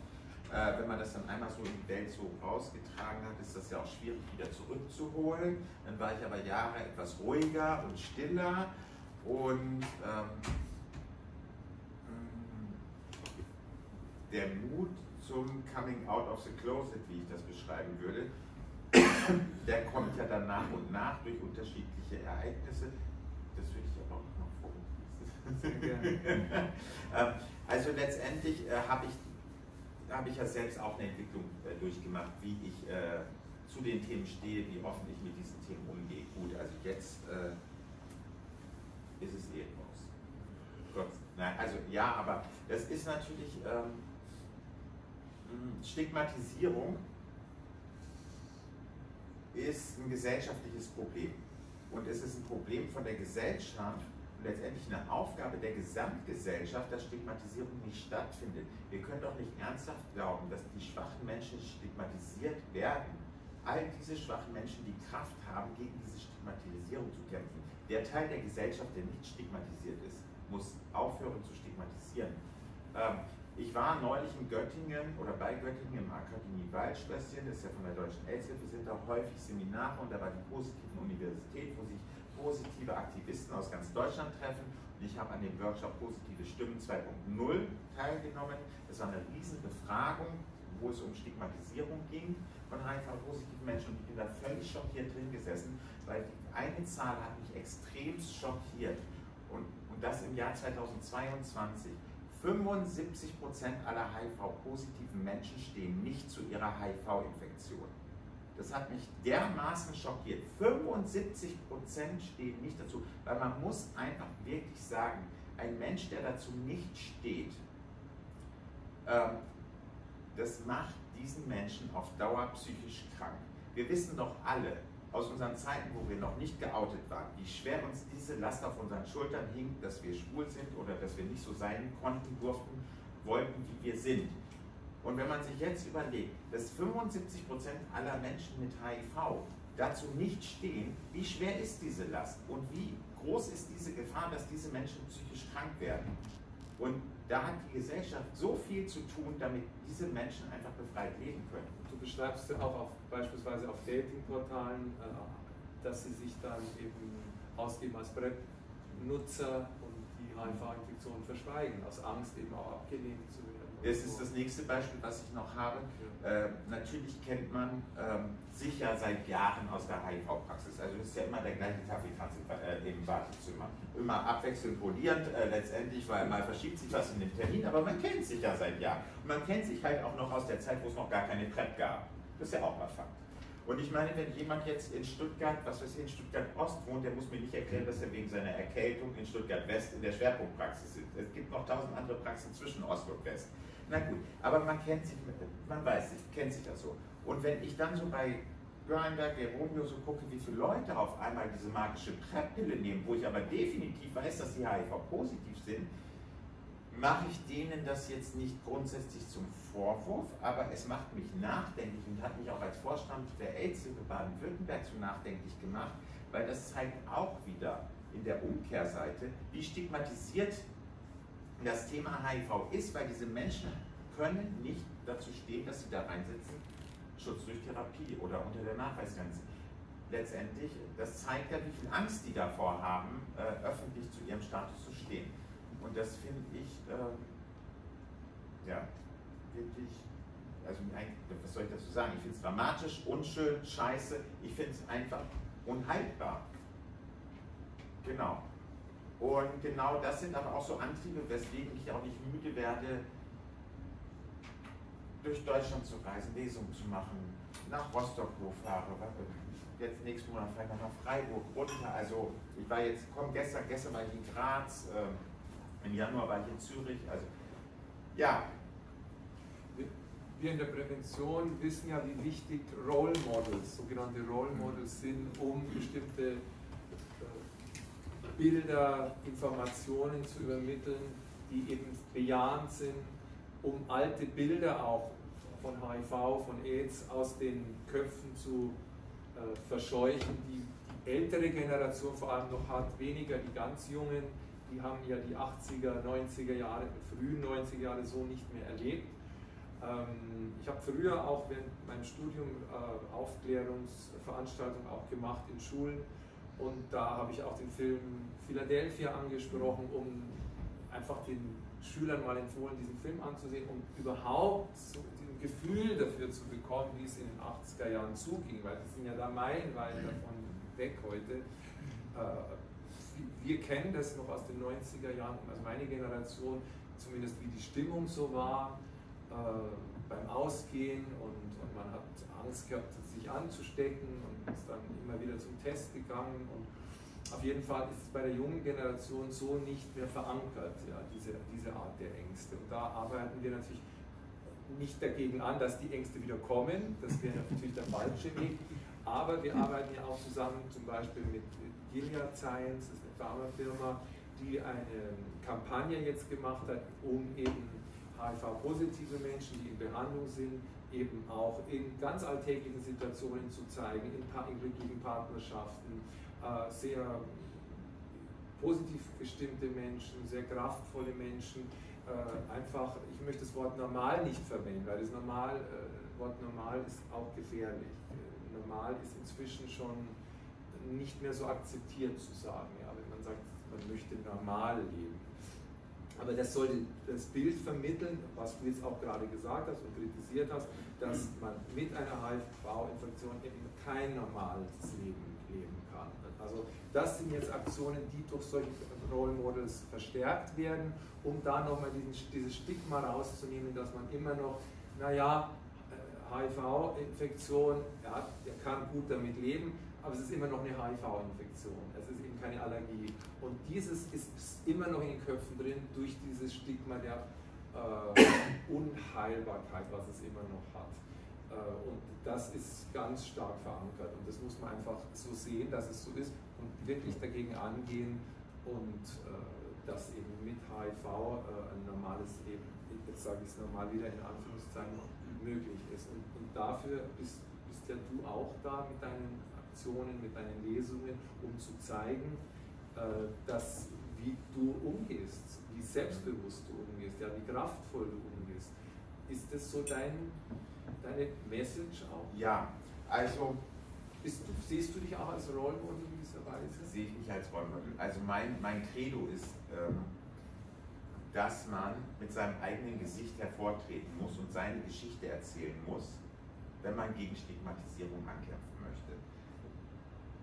Weil Leute, die etwas nur abstrakt haben, das ist nicht greifbar. Also die brauchen letztendlich diesen Menschen, diese Geschichte, die müssen quasi den sehen oder mit ihm sprechen können und so. Und bestenfalls gehen diese Menschen nach Hause, gehen mit ihren Vorurteilen und ihren Stigmatisierungen ins Gespräch und legen die dann mal zur Seite, weil sie festgestellt haben, dass es alles unhaltbar ist. Also ich habe ja 2000 kommen wir wegen Corona, Corona durcheinander, aber 2021 habe ich mit Freize Stigma Aktionswoche in Stuttgart gemacht, eine ganze Woche. Hm, auch mit Sissy Zen Talk, unserem schwulen Internetblog aus Stuttgart. Und da haben wir eine Woche jeden Tag Programm auf die Beine gestellt. Und das Ganze, der, die Rahmengebung war eine, Pla äh, eine Plakatausstellung von der Deutschen AIDS-Hilfe, habe ich die organisiert, der letzten 40 Jahre und weil ich den ganzen Gästen zeigen wollte, wie sich die Message auf den Plakaten geändert hat in den vier Jahrzehnten. Und also da waren viele Gäste äh, ähm, aus jeglicher Couleur der Gesellschaft. Und das war aber auch sehr interessant, weil auch viele ältere Gäste da waren, die sich auch an all diese Plakate erinnerten und das war für die wie so eine Zeitschleuse. Und es hat sich ja auch was getan in dieser Message, die gesprochen wird. Also in den äh, 90er Jahren gab es ein Plakat, was auch sehr viel für Furore gesorgt hat. Das hing, glaube ich, in Bielefeld an der Uni oder so. Äh, Blasen okay, aber raus, bevor es kommt. Das hatte auch einen Rechtsstreit, weil, weil das galt als Pornografie. Äh, hat aber äh, die Staatsanwaltschaft verloren, weil der irrigierte Penis zu sehr im Mund des anderen Herrn verschwunden war weil für, für Pornografie äh, muss der irrigierte Penis 90 Grad abstehen und das konnte man nicht nachmessen, weil zu wenig sichtbar war. Also durfte es hängen bleiben. Äh, das war so ein Fun Fact am Rande. Allerdings, was ich sagen wollte, die Message, die sich so sehr verändert hat, lassen okay, aber raus bevor es kommt, zu dem Plakat von vor zwei Jahren, Schluck du Luder, Prep. Also, also da ist eine immense Spanne der Entwicklung drin. Und dann hatten wir, der Jan Ramft aus der war angereist mit Kurzgeschichten, dann hatten wir eine politische Diskussionsrunde auf Länder-, Kommunal- und Verwaltungsebene, einen Drag Queen Contest, die dann die Drags, die ein falsches Stigma-Outfit und Lip Sync, dann noch ein Filmabend, der Podcast wurde aufgezeichnet, einen Prep-Talk-Abend mit zwei Apothekern und auch verschiedenen Leuten aus der Community. Und am Welt hatte ich dann vorab quasi meine Weltpremiere mit dem Buch oder so. Aber da haben wir auch so viele unterschiedliche Leute damit erreicht. Und es geht immer nur, wenn man wirklich selbst auch Farben kennt oder quasi ja, versucht, mit den Leuten ins Gespräch zu du fragst mich Role Model. Ich glaube ja, dass ich in gewisser Weise so ein Role Model bin, weil ich im Rahmen meiner Möglichkeiten ähm, eine sehr mediale Aufmerksamkeit geschafft habe. Also ich war letztes Jahr viermal in der Gap-Zeitung, einmal mit einem riesen Interview bei Männermedia Zuversicht und Mut und dann noch drei weitere Artikel. Dann äh, Geheimtipp Stuttgart, das wichtigste Stadtmagazin, hatte ein vierseitiges Interview und einen halbseitigen Buchtipp. Jetzt Mannschaftsmagazin, dann zum Welt-Aids-Tag, der große Sternartikel. Dann ähm, Edgar Postcards druckt äh, jetzt aktuell 50.000 Postkarten mit meinem Buchcover und verteilt die in Berlin, Hamburg, Köln, Frankfurt und München. Also, wer das Cover schön findet, muss auf die Suche in München gehen. Ja, und da würde ich schon sagen, auch wenn bislang aus unerklärlichen Gründen keine Pharmafirma und äh, so auf mich zukam, äh, ich bin mein eigenes Role Model, aber ich mache das ja, um Leuten Zuversicht und Mut zu, äh, zu spenden und zu entstigmatisieren. Und äh, im Rahmen meiner Möglichkeiten, glaube ich, funktioniert das sehr gut. Und meine Bandbreite ist auch sehr breit von dem, was ich am Publikum habe. Du hast vorher gerade die Plakate erwähnt, äh, Präventionsplakate. Ich war letzte Woche in Berlin, ähm, Arbeit, Facharbeitskreis, zusammen auch mit der Deutschen AIDS-Hilfe. Und da ging es darum, zukünftig eben diese Pathologisierung der Sexualität oder der schwulen Sexualität eben aufzulösen. Wir haben ja immer diese Plakate, schwuler Sex, ah, Infektion, ja, Vorsicht vor STI, Vorsicht vor HIV, also immer dieses Zusammenspiel, ja, immer ein Plakat, zwei nackte Männer, ah, Vorsicht, Infektionsgefahr. Und diese, äh, nicht immer unbegründet natürlich, und es ist natürlich ein schmaler Grad jetzt, da wegzugehen von dieser, von dieser Botschaft, äh, passt auf, hinzugehen, ja, Sex ist was Schönes, ist was Freudvolles, äh, ist gar nicht so gefährlich und ich bin da immer so zwiegespalten. Auf der einen Seite begrüße ich das sehr, dass diese Entwicklung kommen soll oder schon eigentlich auch da ist und gefördert wird, aber ich bin da auch manchmal so ein bisschen Mahner, dass man äh, jetzt das nicht auf die ganz andere Seite schwenkt.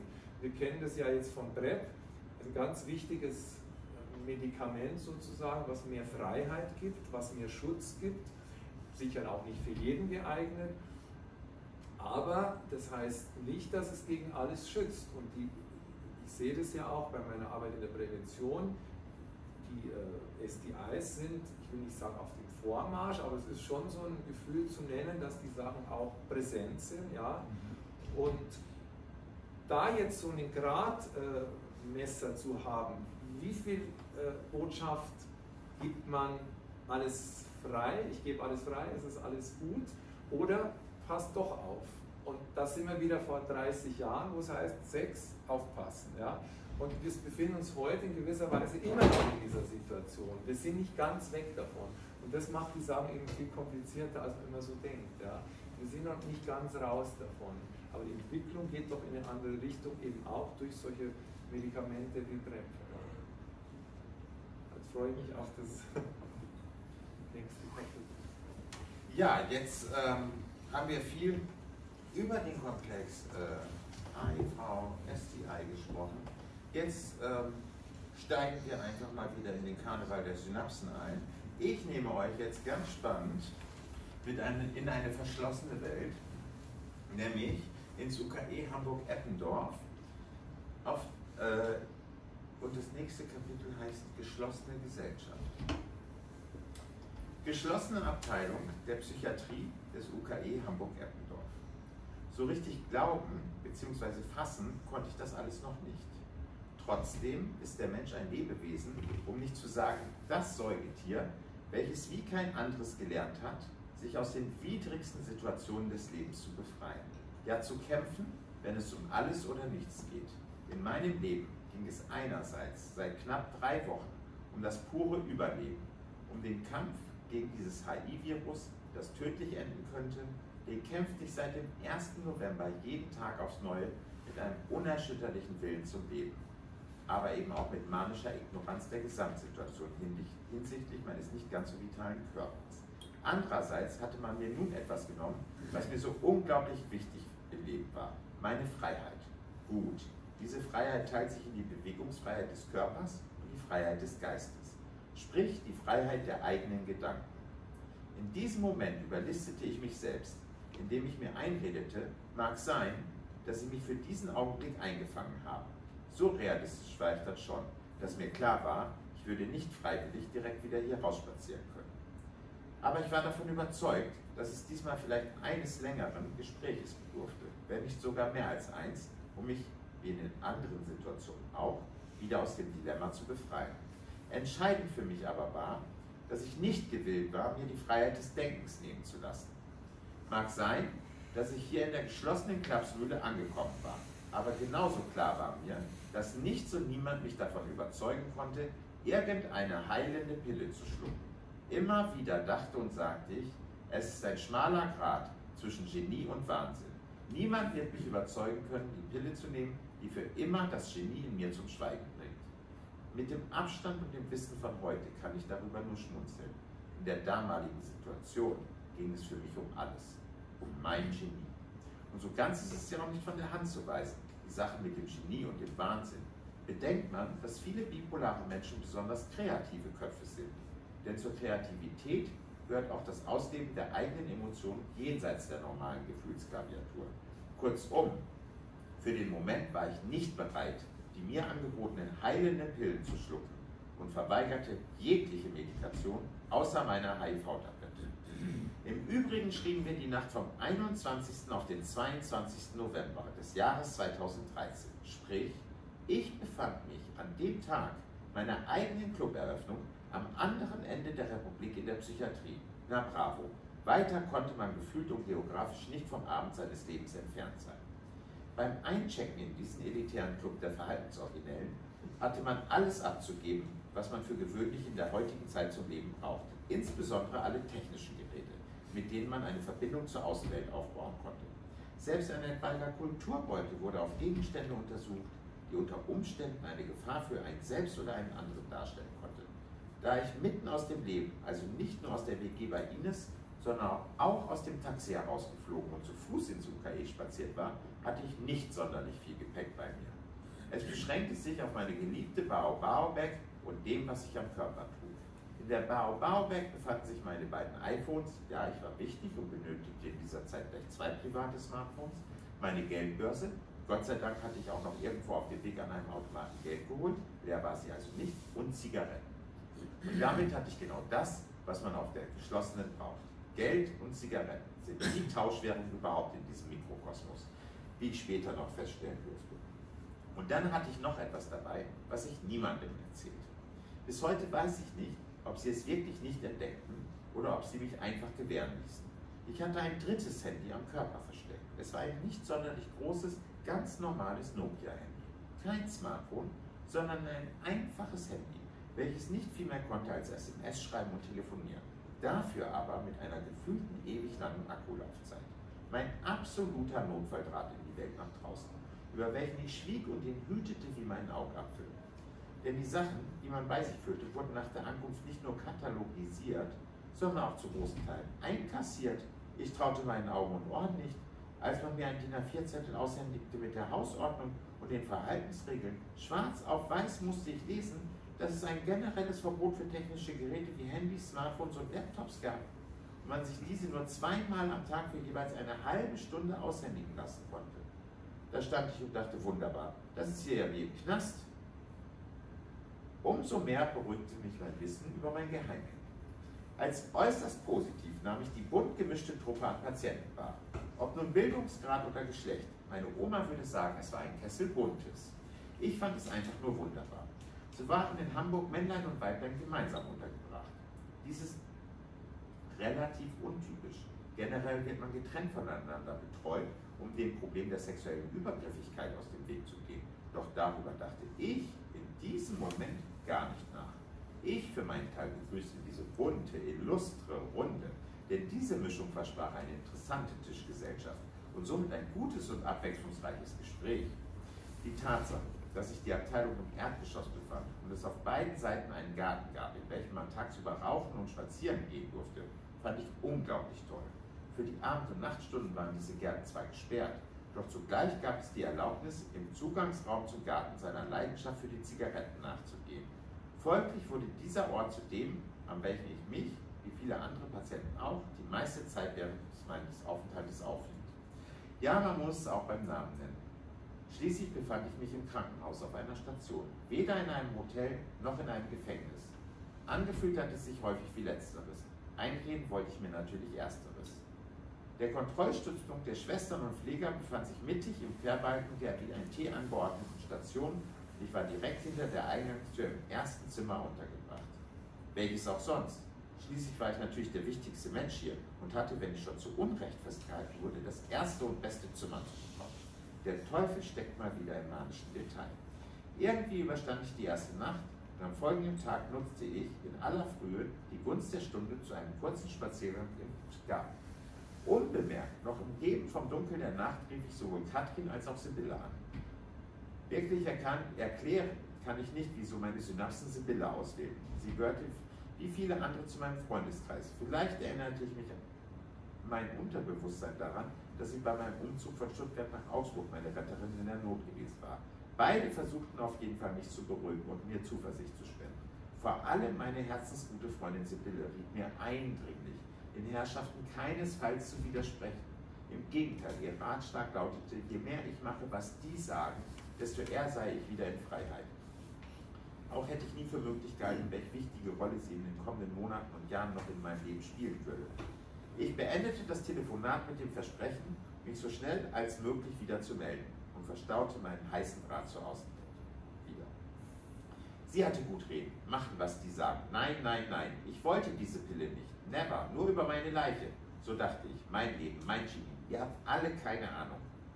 Nach einer weiteren Zigarette ging ich zurück ins Warme. Es gab Frühstück und dann kam er, der Termin des Tages.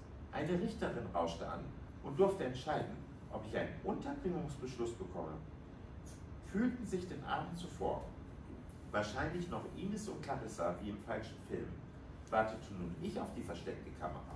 Leider waren wir hier nicht bei Verstehen Sie Spaß, sondern auf der geschlossenen des UKE. Und so sollte tatsächlich darüber entschieden werden, ob ich für eine bestimmte Anzahl von Tagen diese Station nicht verlassen darf. Ich traute meinen Ohren nicht. In Gedanken war ich immer noch bei dem Punkt, wer freiwillig kommt, darf auch freiwillig wieder gehen. Ich war gespannt, wie sie dies juristisch begründen wollte. Aber da saß ja auch noch diese dusselige Ärztin vom Vortag, der ich überhaupt zu verdanken hatte, dass ich hier war. Und dann war ich einfach nur noch sprachlos. Die Ärztin behauptete allen Ernstes, ich hätte am Tag zuvor gedroht, sie mit HIV zu infizieren. Mein Einspruch, dass dies in keinster Weise stimmte, wurde überhaupt nicht wahrgenommen. Die Richterin hatte genug gehört und ich hatte einen Beschluss über sieben Tage Haft an der Backe. Ja, Sie lesen richtig. Für mich fühlte sich der Beschluss wie Haft an. Ich fühlte mich verurteilt wie in einem Staat ohne funktionierendes Rechtssystem. Das konnte und durfte doch alles nicht wahr sein. Immerhin hatte ich mein erstes juristisches Staatsexamen, also verstand ich auch ein bisschen was von unserer Rechtsordnung. Doch es half alles nichts. Das hatten sich diese beiden Hexen ja wunderbar zusammengereimt. Ich war außer mir und fühlte mich ungerecht behandelt. Die Tatsache, dass ich emotional völlig überfordert gewesen war in diesem Moment, wurde direkt so interpretiert, dass ich dringend Medikamente zur Beruhigung benötigte. Die Ärztin lächelte mich an und sagte nur, Sie haben die Wahl zwischen Tablette oder Spritze. Und ich antwortete, keins vorbei. Was bildete die sich eigentlich ein? In meiner Wahrnehmung war sie eine der selbsternannten Halbgöttinnen in Weiß. Aber so einfach war das nicht mit dem Nein sagen. Schließlich kämpften wir weder auf neutralem Boden noch eins gegen eins. Ganz im Gegenteil. Wir befanden uns auf der geschlossenen Abteilung der Psychiatrie und wie es der Name bereits vermuten lässt, gab es kein Entkommen. Sie hatte die muskulösesten Krankenpfleger der Station im Stepptau, die mich auf mein Zimmer begleiteten und dort kam es dann zum Showdown. Denn eins war sicher, wenn es um alles wiederhole es nochmals, um alles, nicht mehr und weniger als mein Genie, dann entwickelt sogar so ein ausgemergelter Spargeltarzan wie ich Mammutkräfte. Dies half aber alles nichts. In meinem Zimmer sprang die Ärztin herum, die Pfleger versuchten mich zu bändigen. Ich sah nur ein Pillentöpfchen vor und einen Pfleger mit einer Spritze in der Hand neben mir auftauchen. Ich schlug dem einen Pfleger die Spritze und dem anderen das Tablett mit dem Pillentöpfchen aus der Hand. Und dann ging auf einmal alles ganz schnell. Ein Pfleger hielt mich mit brachialer Gewalt fest. Die blauen Flecken sollte ich noch Tage später an meinem Arm sehen. Der Raum füllte sich mit weiteren Pflegekräften und ich wurde im Bett fünf Punkt fixiert. Wer nicht weiß, was das bedeutet, Arme und Beine werden gefesselt und man bekommt zusätzlich noch einen Beckengurt, der verhindert, dass man sich im Bett aufräumen kann. Dachte ich schon, schlimmer geht nimmer, als mich der Taxifahrer auf den blanken Asphalt bzw. in die Gosse geworfen hatte, war ich nun an einem neuen Tiefpunkt angelangt. Fünf Punkte fixiert in einem Bett in der geschlossenen Abteilung.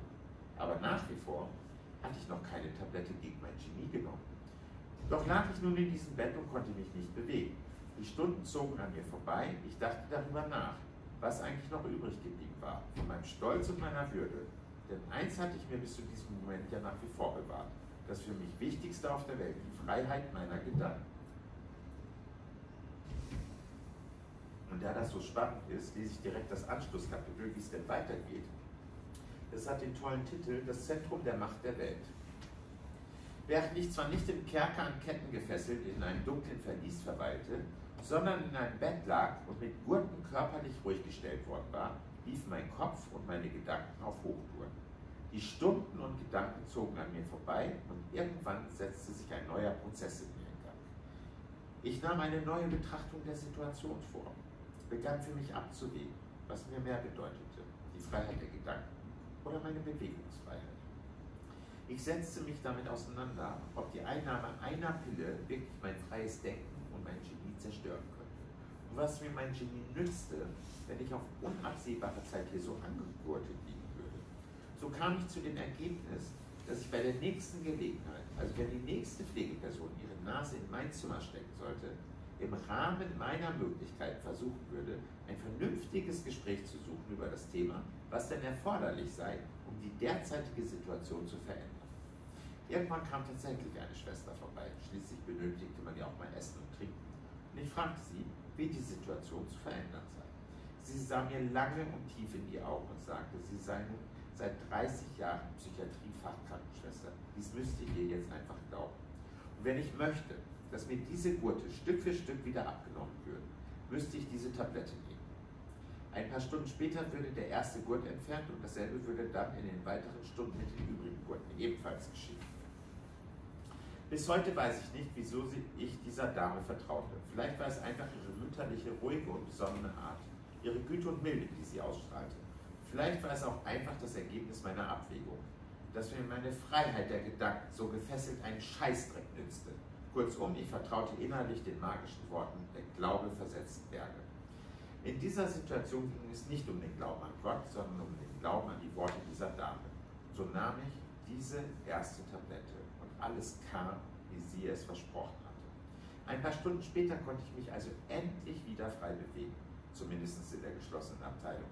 Und endlich konnte ich auch wieder mit den anderen Patienten einen Plausch halten und eine Zigarette rauchen. Immer mehr realisierte ich, dass auf dieser Station schon sehr verhaltensoriginelle Menschen unterwegs waren. Am meisten und eindrücklichsten blieb mir Tina in Erinnerung, die sich für die heimliche Schwester von Udo Lindenberg hielt und ständig irgendwelche Bilder malte oder versuchte mir die Welt zu erklären. Hinter vorgehaltener Hand erzählte sie mir, dass wir uns hier im Zentrum der Macht der Welt befinden, wo sämtliche Geheimdienste dieser Erde angesiedelt sind. CIA, NSA, KGB, Stasi, BND und, und, und. Und jeden Patienten ordnete sie einem anderen Geheimdienst zu. Immer wieder ermahnte sie mich, Thorsten, du musst genauer hinschauen, dann siehst du, wie merkwürdig sich alle verhalten. Wunderbar. Jemand, dessen Kopf sich gerade im dauerhaften Ausnahmezustand befand, war sehr empfänglich für eine solche Art der Betrachtung der Situation. Ganz besonders hat es Tina eine bestimmte Patientin angetan. Mit geheimnisvoll leiser Stimme sagte sie zu mir, schau dir mal die Mundwinkel dieser Frau an. Die kann niemand auf der Welt wegschminken. Gut, sie trägt eine schlechte Perücke, aber es ist und bleibt Angela Merkel. Ich war sprachlos und schaute wie gebannt auf die Mundwinkel dieser Patientin, während Tina weiter auf mich einredete. Ist dir noch nicht aufgefallen, dass jedes Mal, wenn sie in ihr Zimmer geht, kurz vorher ein Helikopter landet und jedes Mal, wenn sie, äh, bevor sie aus ihrem Zimmer kommt, ebenfalls, sie hat einen geheimen Ein- und Ausgang in ihrem Zimmer. Ich war verblüfft. Kontrollierte in der Folgezeit diesen Aspekt mit dem Helikopter und Tina hatte recht. Als wären Tinas Behauptungen nicht schon wahnwitzig genug gewesen, verselbstständigten sich in dieser Zeit nachts im Schlaf auch noch meine Fantasie. So träumte ich unter anderem, dass Adolf Hitler mit Erich Honecker im Führerbunker sitzt und Fasching feiert, während Saddam Hussein den Champagner einschenkt. In diese Art der Gedanken passten diese Tina-Theorien und da ich diese Helikopter ja selbst hörte, musste auch etwas dran sein an dem, was sie sagte. Viel später erfuhr ich, dass zu dieser Zeit der Chefarzt des UKE im Sterben lag und Spezialisten aus allen Himmelsrichtungen eingeflogen wurden, um sein Leben zu retten. Aber ich saß ja nicht in einem Café, trank Kaffee und las die Tageszeitung, die mir diese Information gegeben hätte. Nein, ich befand mich im Zentrum der Macht der Welt und versuchte mir die Geheimagenten vom Hals zu halten. So eine geschlossene Station ist schon ein Mikrokosmos für sich. Dann war da ein Patient, der ständig die Mauer im Garten prüfte und nach einer Möglichkeit suchte, diese zu überwinden. Denn eins war allen gemein. Auf einer solchen Station hat jeder nur den Wunsch, gehen zu dürfen. Jeder hat seinen großen eigenen Traum von der Flucht. Er sagte mal zu mir, wenn du es schaffst, rauszukommen, tu alles, um nie wieder reinzukommen. Mit meinem geheimen, geheimen Handy telefonierte ich, wann immer es mir möglich war, mit Sibylle, die mir immer wieder den Ratschlag gab, mich so unauffällig wie möglich zu verhalten. Je besser mir dies gelingen würde, desto schneller wäre ich wieder draußen. Sie gab mir die Zuversicht, dass sie es schaffen würde. Weiter hatten wir einen Patienten, der es mir optisch sehr angetan hatte. Er sah für mich aus wie mein Lieblingsschauspieler Florian David Fitz. Ich bildete mir ernsthaft ein, dass er es war. Da konnte er noch so viel Bulgarisch oder Rumänisch sprechen. Wahrscheinlich war das alles Tarnung. Und wenn das hier schon das Zentrum der Macht der Welt ist, dann lag es auch nicht außerhalb jeglicher Wahrscheinlichkeit, dass einer unserer berühmtesten Schauspieler hier unter einer anderen Identität Schutz suchte oder sich auf eine Filmrolle vorbereitete. Das Highlight in diesen Tagen war aber sicher der Besuch meiner Freundin Ines, die ich Tage zuvor so sehr beleidigt hatte.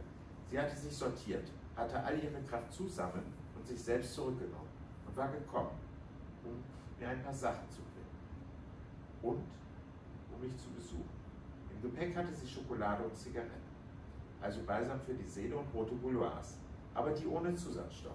Sie sagte mit ihrem ganz eigenen Zwinkern, Thorsten, wenn schon rauchen, dann die gesunden. Im Gespräch berichtete sie mir von ihrer großen Angst um mich, von meinem Abrauschen mit dem Auto, von ihrer Sorge, ihrem Abtelefonieren der Hamburger Krankenhäuser am Folgetag und der Last, die ihr vom Herzen gefallen war, als sie in UKE endlich fündig wurde. Man hatte ihr explizit ausgerichtet, dass ich von ihr gesprochen hatte. Sie fragte mich, wo denn mein Auto wäre. Ich antwortete, irgendwo bei dir in der Nähe, ich glaube an irgendeiner Tankstelle. Ich berichtete dir von allem, was mir widerfahren war. Angefangen bei dem Taxifahrer und der Bodenlandung auf dem Asphalt, der daraus resultierenden Schürfwunde, der Ärztin, der Fünf-Pfund-Fixierung und natürlich berichtete ich dir auch von Florian David Fitz, Frau Merkel und dem Zentrum der Macht der Welt. Wenn ich heute auf diese Situation blicke, kann ich meiner süßen Ines nur vollen Respekt und die größte Anerkennung aussprechen. Also genau das, was ich hier in ihrer Küche verweigert hatte. Dafür, dass sie mich gesucht gefunden hatte, dass sie sich nichts von ihrer eigenen Erschöpfung anmerken ließ, sondern versuchte mir Kraft, Mut und Zuversicht zu spenden. Und the way, natürlich auch dafür, dass sie sich erstmal auf die Suche nach meinem Auto begeben wollte. Zum Abschied nahm sie mich in den Arm, drückte mich ganz fest an sich und weinte mehr als eine Träne. Doch es half ja mal wieder alles nichts, denn nicht nur die Handyzeiten, sondern auch die Besuchszeiten waren hier begrenzt.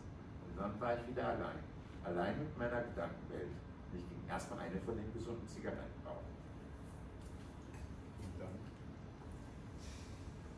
Man merkt in diesem Kapitel, ja, du schreibst so das Leben äh, in der Psychiatrie, die verschiedenen Patientinnen, Menschen, die verschiedene Wahrnehmungen haben. Du hast ja lange nicht eingestehen, also dir eingestehen wollen, deine bipolare Erkrankung, wolltest keine Medikamente dagegen nehmen. Und dann gab es plötzlich durch deine eine Freundin, die dir ein Buch brachte, von Sebastian Schlösser, ein bekannter Theaterregisseur in Hamburg, Schauspiel in Hamburg engagiert. War er, ja. Oder war er. Und hat selber dann eine bipolare Störung diagnostiziert bekommen. Er war sehr erfolgreich, aber er sprach dann ja auch von diesem Druck, von den Premieren, von diesen Höhenflügen, von den Kritiken, die ihn dann wieder runtergeholt haben. Also wurde dann auch diese Schwelle, diese kritische Schwelle dann äh, erreicht, wo sich dann diese Störung ausgebildet hat, diese Erkrankung. Und dieses Buch, diese Lebensbeschreibung, dass er ja eigentlich für seine kind Tochter und so, äh, Sohn, er hat dann jetzt auch nur eine Tochter, aber er hat es für seine Kinder quasi geschrieben, dass die lernen äh, zu verstehen, wie der Vater eigentlich drauf ist. Ja? Weil er sagt ja, die sind ja vorbelastet auch genetisch und das, dieses Erbe hinterlässt er ihnen. Jetzt will er ihnen wenigstens erklären, was da, warum er eigentlich so ist, wie er ist. Und dieses Buch, das du dann gelesen hast, hat dich unglaublich beeindruckt, so habe ich das verstanden, hat irgendwie was verändert, eine Einsicht gebracht, dass du ja irgendwie auch dieses Problem hast. In der Tat, also äh, dieses Buch von Sebastian Schlösser, Lieber Matze, Papa hat eine Meise, ähm, das war mein Game Changer in Bezug auf bipolare Störung. Hm, ich habe das von meiner mütterlichen Freundin Hilke ähm, in die geschlossene Psychiatrie in Stuttgart geschickt bekommen. Da weilte ich, da, also das kommt viel später im Buch, da war ich dann ja mal vier Wochen per Unterbringungsbeschluss. Äh, aber ich hatte den Richter immerhin zwei Wochen abgehangen. Also ich sollte sechs und habe nur vier gekriegt. Das war ja schon Erfolg. So, das fand aber leider Gottes über meinen Geburtstag statt, den ich eigentlich auf Sylt mit der Woche der Freundschaft feiern wollte. Das haben aber meine Freunde Gott sei Dank im Hintergrund schon alles abgesagt. Und dann habe ich meinen Geburtstag ähm, auf der geschlossenen Abteilung gefeiert, beziehungsweise meine Freunde kamen, unter anderem Harald, der den Kirschstreuselkuchen gebacken hat. Die kamen dann, ich glaube, es waren acht oder zehn Leute kamen, haben alle unterschrieben. Ich habe einen anderthalb Stunden Sonderausgang bekommen. Die haben mich aber fünf Minuten erst schon wieder zurückgebracht, wenn ich es richtig im Kopf habe. Da wollte keiner eine Gefahr eingehen. Nein, aber es war super, also super schön, die kamen. Es war schon ein sehr besonderer Geburtstag, weil also ich muss auch dazu sagen, dass ich ja ein großes Glück hatte. Ich hatte in den Freundeskreis, die hatten eine WhatsApp-Gruppe, die haben sich abgesprochen. Ich habe jeden Tag Besuch bekommen. Also das hat längst auch nicht jeder. Und an dem Geburtstag kam sie mit Kuchen und Champagner. Das war das letzte Mal, dass ich Alkohol trank in meinem Leben. Und dieses Buch war aber so wichtig, weil ich das gelesen habe und gedacht habe, okay, egal was der hat, das habe ich auch. Also da brauchen wir jetzt nicht mehr diskutieren. Also das waren halt so Momente, der beschreibt halt, wie der im Vorbeigehen für 2000 Euro einen, Gucci, äh, einen Armani-Anzug gekauft hat. Ich habe halt im Vorbeigehen, ich habe einen Gucci-Anzug gekauft, aber ist ja, ist ja egal. Äh, ja, und da waren so viele Deckungsgleichheiten, dass ich einfach so dachte, okay, was der hat, ich habe das definitiv. Und das schwierigste Moment bei so einer psychischen Erkrankung oder bei einer bipolaren Störung ist halt dieser Moment, dass du erkennst, dass du diese Erkrankung hast. Das nennt sich das Erlangen dieser Introspektionsfähigkeit damit du überhaupt sowas wie diese Compliance entwickeln kannst, dass du mitarbeitest bei der Therapie, weil es bringt ja gar nichts, wenn der Patient nicht mitarbeitet. Und das habe ich durch dieses Buch lesen, habe ich letztendlich diese Introspektionsfähigkeit entwickelt, weil ich beschreibe diese bipolare Störung gerne als Marathonlauf. Das ist ein wirklicher Marathonlauf, äh, den du läufst. Und ein Marathonlauf macht nur einen Sinn, wenn du weißt, wo das Ziel ist äh, wenn du nicht weißt, wo du hin, also wenn du das Ziel nicht kennst, brauchst du gar nicht loslaufen. Dann läufst du in 99% der Fälle in die falsche Richtung. Also du solltest das Ziel schon kennen, sonst macht das keinen Sinn. Und ich hatte das unglaubliche Glück, dass ich äh, bei meinem Marathonlauf des Lebens hatte ich ein Team, was neben mir einen Staffellauf gemacht hat. Ich hatte so viele Menschen, die wie in einem Staffellauf neben mir hergelaufen sind und immer wenn einer erschöpft war, hat er den Stab an jemand anderes weitergereicht. Also ich hatte so eine riesen soziale Hängematte, wo mich immer jemand akut begleitet hat, sage ich jetzt mal. Und äh, das hat längst nicht jeder bipolare Mensch, weil du als bipolarer Mensch auch richtig ätzend für dein Umfeld sein kannst und da auch wirklich Brücken nicht nur abbrichst, sondern so deutlich abbrennst, dass es da auch keinen Weg zurück gibt diese das Freundschaft, von der du gerade sprichst, die immer für dich dann da waren, auch wenn es für sie sicher schwierig war, weil du ja auch heftig reagiert hast, oft undankbar warst, äh, Ausbrüche hattest, auch verletzend warst, wie du das schilderst. Aber die waren immer irgendwo für dich da. Das war so ein Netz, das war eine große Ressource auch für dich, äh, eine menschliche Ressource, eine emotionale Ressource, wie ich das verstanden habe. Äh, bist du da heute sehr dankbar im, Rückblick, dass du sagst, es war irgendwie eine Fügung, dass, dass solche Menschen in deinem Leben waren? Weil es ja nicht selbstverständlich. Viele ziehen sich ja auch dann zurück, wenn man merkt, jemand ist krank, will man vielleicht, ist einem zu anstrengend, man zieht sich zurück. Waren sicher auch Menschen, die sich zurückgezogen haben, aber für, dieses, für diese große Ressource, für diese emotionale, welche Dankbarkeit hast du da heute? Da habe ich eine un, äh, unendliche Dankbarkeit. Das kann man auch schwer in Worte fassen und das ist mir auch bewusst, dass das ja was äh, ganz Besonderes ist und ich trage da wirklich eine sehr große Dankbarkeit, wenngleich natürlich auch gar nicht mehr alle Leute jetzt in meinem Leben vorkommen.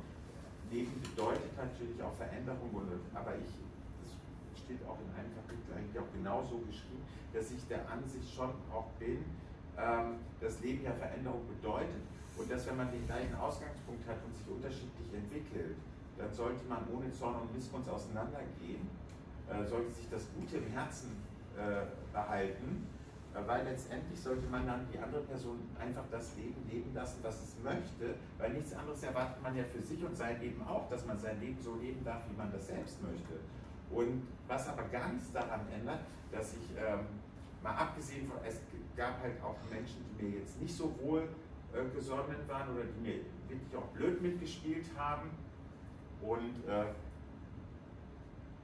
ähm, das ist dann natürlich schon wieder noch schwieriger da zu sagen, okay, ich wünsche dir alles Liebe und Gut oder so. Aber so grundsätzlich bin ich schon eher ein Mensch.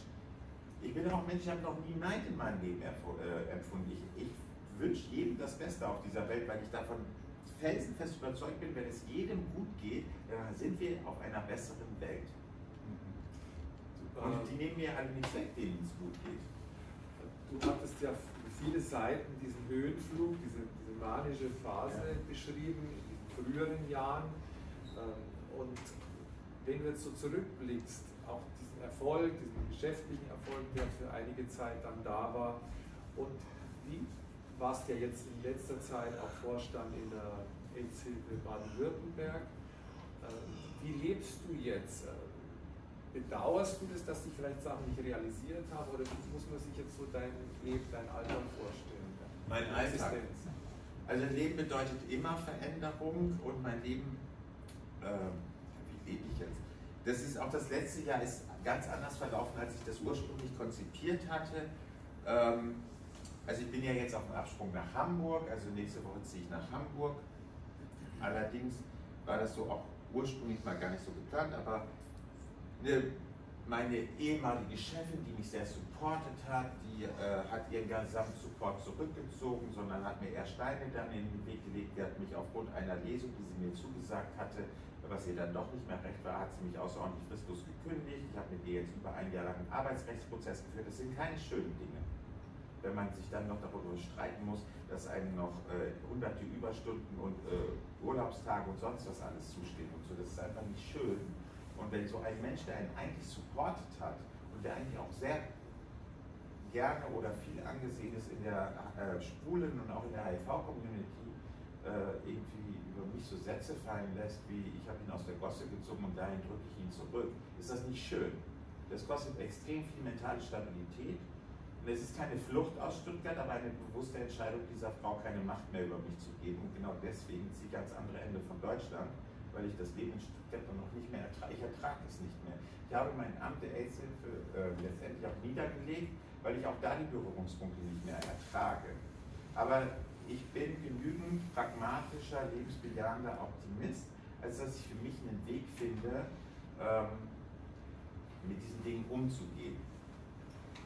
Aber einfach ist das Leben ja nie. Es passiert ja immer irgendwas. Das Leben bedeutet ja einfach, dass Dinge passieren, die du nicht kalkuliert hast. Früher war dein Ziel, beispielsweise einen Nachtclub zu gründen, Party zu machen, Menschen Freude zu bereiten, äh, selbst Erfolg zu haben. Was ist jetzt, was ist jetzt wichtig für dich? Was sind jetzt deine Ziele? Nach diesen ganzen Erfahrungen, nach dieser Introspektion, nach der Reflexion, dieser Krankheitsphasen, schwierigen Jahre, was sind jetzt deine Ziele? Also meine, mein Ziel ist, äh, die Erhaltung meiner mentalen Stabilität steht an Position 1. Sonst werde ich immer gefragt, was ich mir wünsche. Das sage ich immer so plakativ, das habe ich sogar äh, äh, früher schon gesagt. Ich wünsche mir Weltfrieden, das hört sich so plakativ an, aber ich wünsche mir eigentlich Frieden, äh, Gesundheit und weniger Neid und Missgunst auf dieser Welt. Und wenn das alles gegeben wäre, dann würde ich ein Paradies leben, aber man darf ja hoffen. Ähm, letztendlich, mh, hm, ja, meine Mentalität, also meine mentale Stabilität und auch meine Gesundheit steht ganz oben und ansonsten hätte ich gerne ausreichend Geld, um meine äh, laufenden Lebenshaltungskosten zu decken. Also ich bin niemand mehr, der groß Karriere machen möchte. Es ist auch gar kein Gang. Ich fange auch jetzt äh, zum 1. Mai ähm, ähm, einen Job, wieder einen Job an. Ich äh, werde äh, bei der Deutschen Bahn im Bordrestaurant unterwegs sein und vielleicht den einen oder anderen wieder treffen und einen Kaffee verkaufen oder so. Ähm, genau, aber wer auf Reisen geht, kann Geschichten erzählen. Das ist ja schon das nächste Buch quasi förmlich geschrieben. Äh, oder das übernächste. Ähm, ja, also mir sind jetzt so Karriere und Erfolg und das, wonach ich früher so gehechtet habe oder gelächzt habe, es ist mir so 0,0 wichtig. Und früher habe ich hab nicht schlecht verdient oder gut verdient.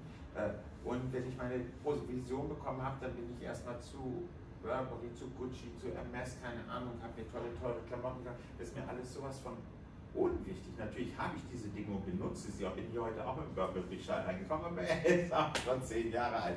Also, oder sogar noch älter. Also Fakt ist, ähm, da hat sich sehr viel verschoben. Also sehr, sehr viel verschoben in meinem Wertekorsett. Aber ich glaube, das ist wirklich bei jedem Menschen, der so einen gesundheitlichen Schiffbruch erlitten hat. So. Also ich kümmere mich sehr viel darum, dass äh, meine äh, Psyche, die ja sehr lange gebraucht hat zu gesunden, äh, gesund bleibt. Ich stelle das immer so dar, hm, die, ähm, also eine psychische Erkrankung heilt ja viel langsamer als eine körperliche Erkrankung. Es dauert viel länger. Die Psyche eines Menschen kann man sich vorstellen wie eine Pflanze. Wenn man, äh, egal wie lange man sich um eine Pflanze gekümmert hat, wenn man das nicht weiter tut, geht die ein. Man muss sich jeden Tag aufs Neue um eine Pflanze kümmern. Oder man stellt sich die Psyche eines Menschen vor wie ein Teich, der zufriert. Das ist obendrauf erstmal nur so eine ganz dünne Schicht. Und die ist bei jeglicher Erschütterung gibt es Risse und die geht wieder kaputt und ist sehr brüchig. Und je länger das friert, desto stabiler und fester wird diese Eisschicht. Und äh, irgendwann ist diese Eisschicht so stabil, dass man mit sich selbst Schlittschuh laufen kann da drauf. Und das ist eigentlich dieser Zustand, den man ja erreichen möchte, dass man wieder mit Freude durchs Leben geht. Ich glaube, dass jeder, der sich mit deiner Geschichte hier befasst oder sie liest, äh, ein, ja, einen Profit daraus zieht, ja, ein, wenn er sich da hineindenkt und äh, aus deinen eigenen Schlüssen, glaube ich, schon davon profitieren kann das kann man sehr empfehlen, dieses Buch. Es ist sehr spannend geschrieben. Und äh, ich bedanke mich jetzt an dieser Stelle mal ganz herzlich äh, für deine Offenheit und auch große Achtung vor dem Erzählen deines Lebens. Ich glaube, wir hatten alle einen sehr interessanten Abend jetzt. Und wir freuen uns jetzt noch auf das letzte Kapitel, das du uns vorlesen möchtest. Genau, aber da machen wir nämlich einen riesen Zeitensprung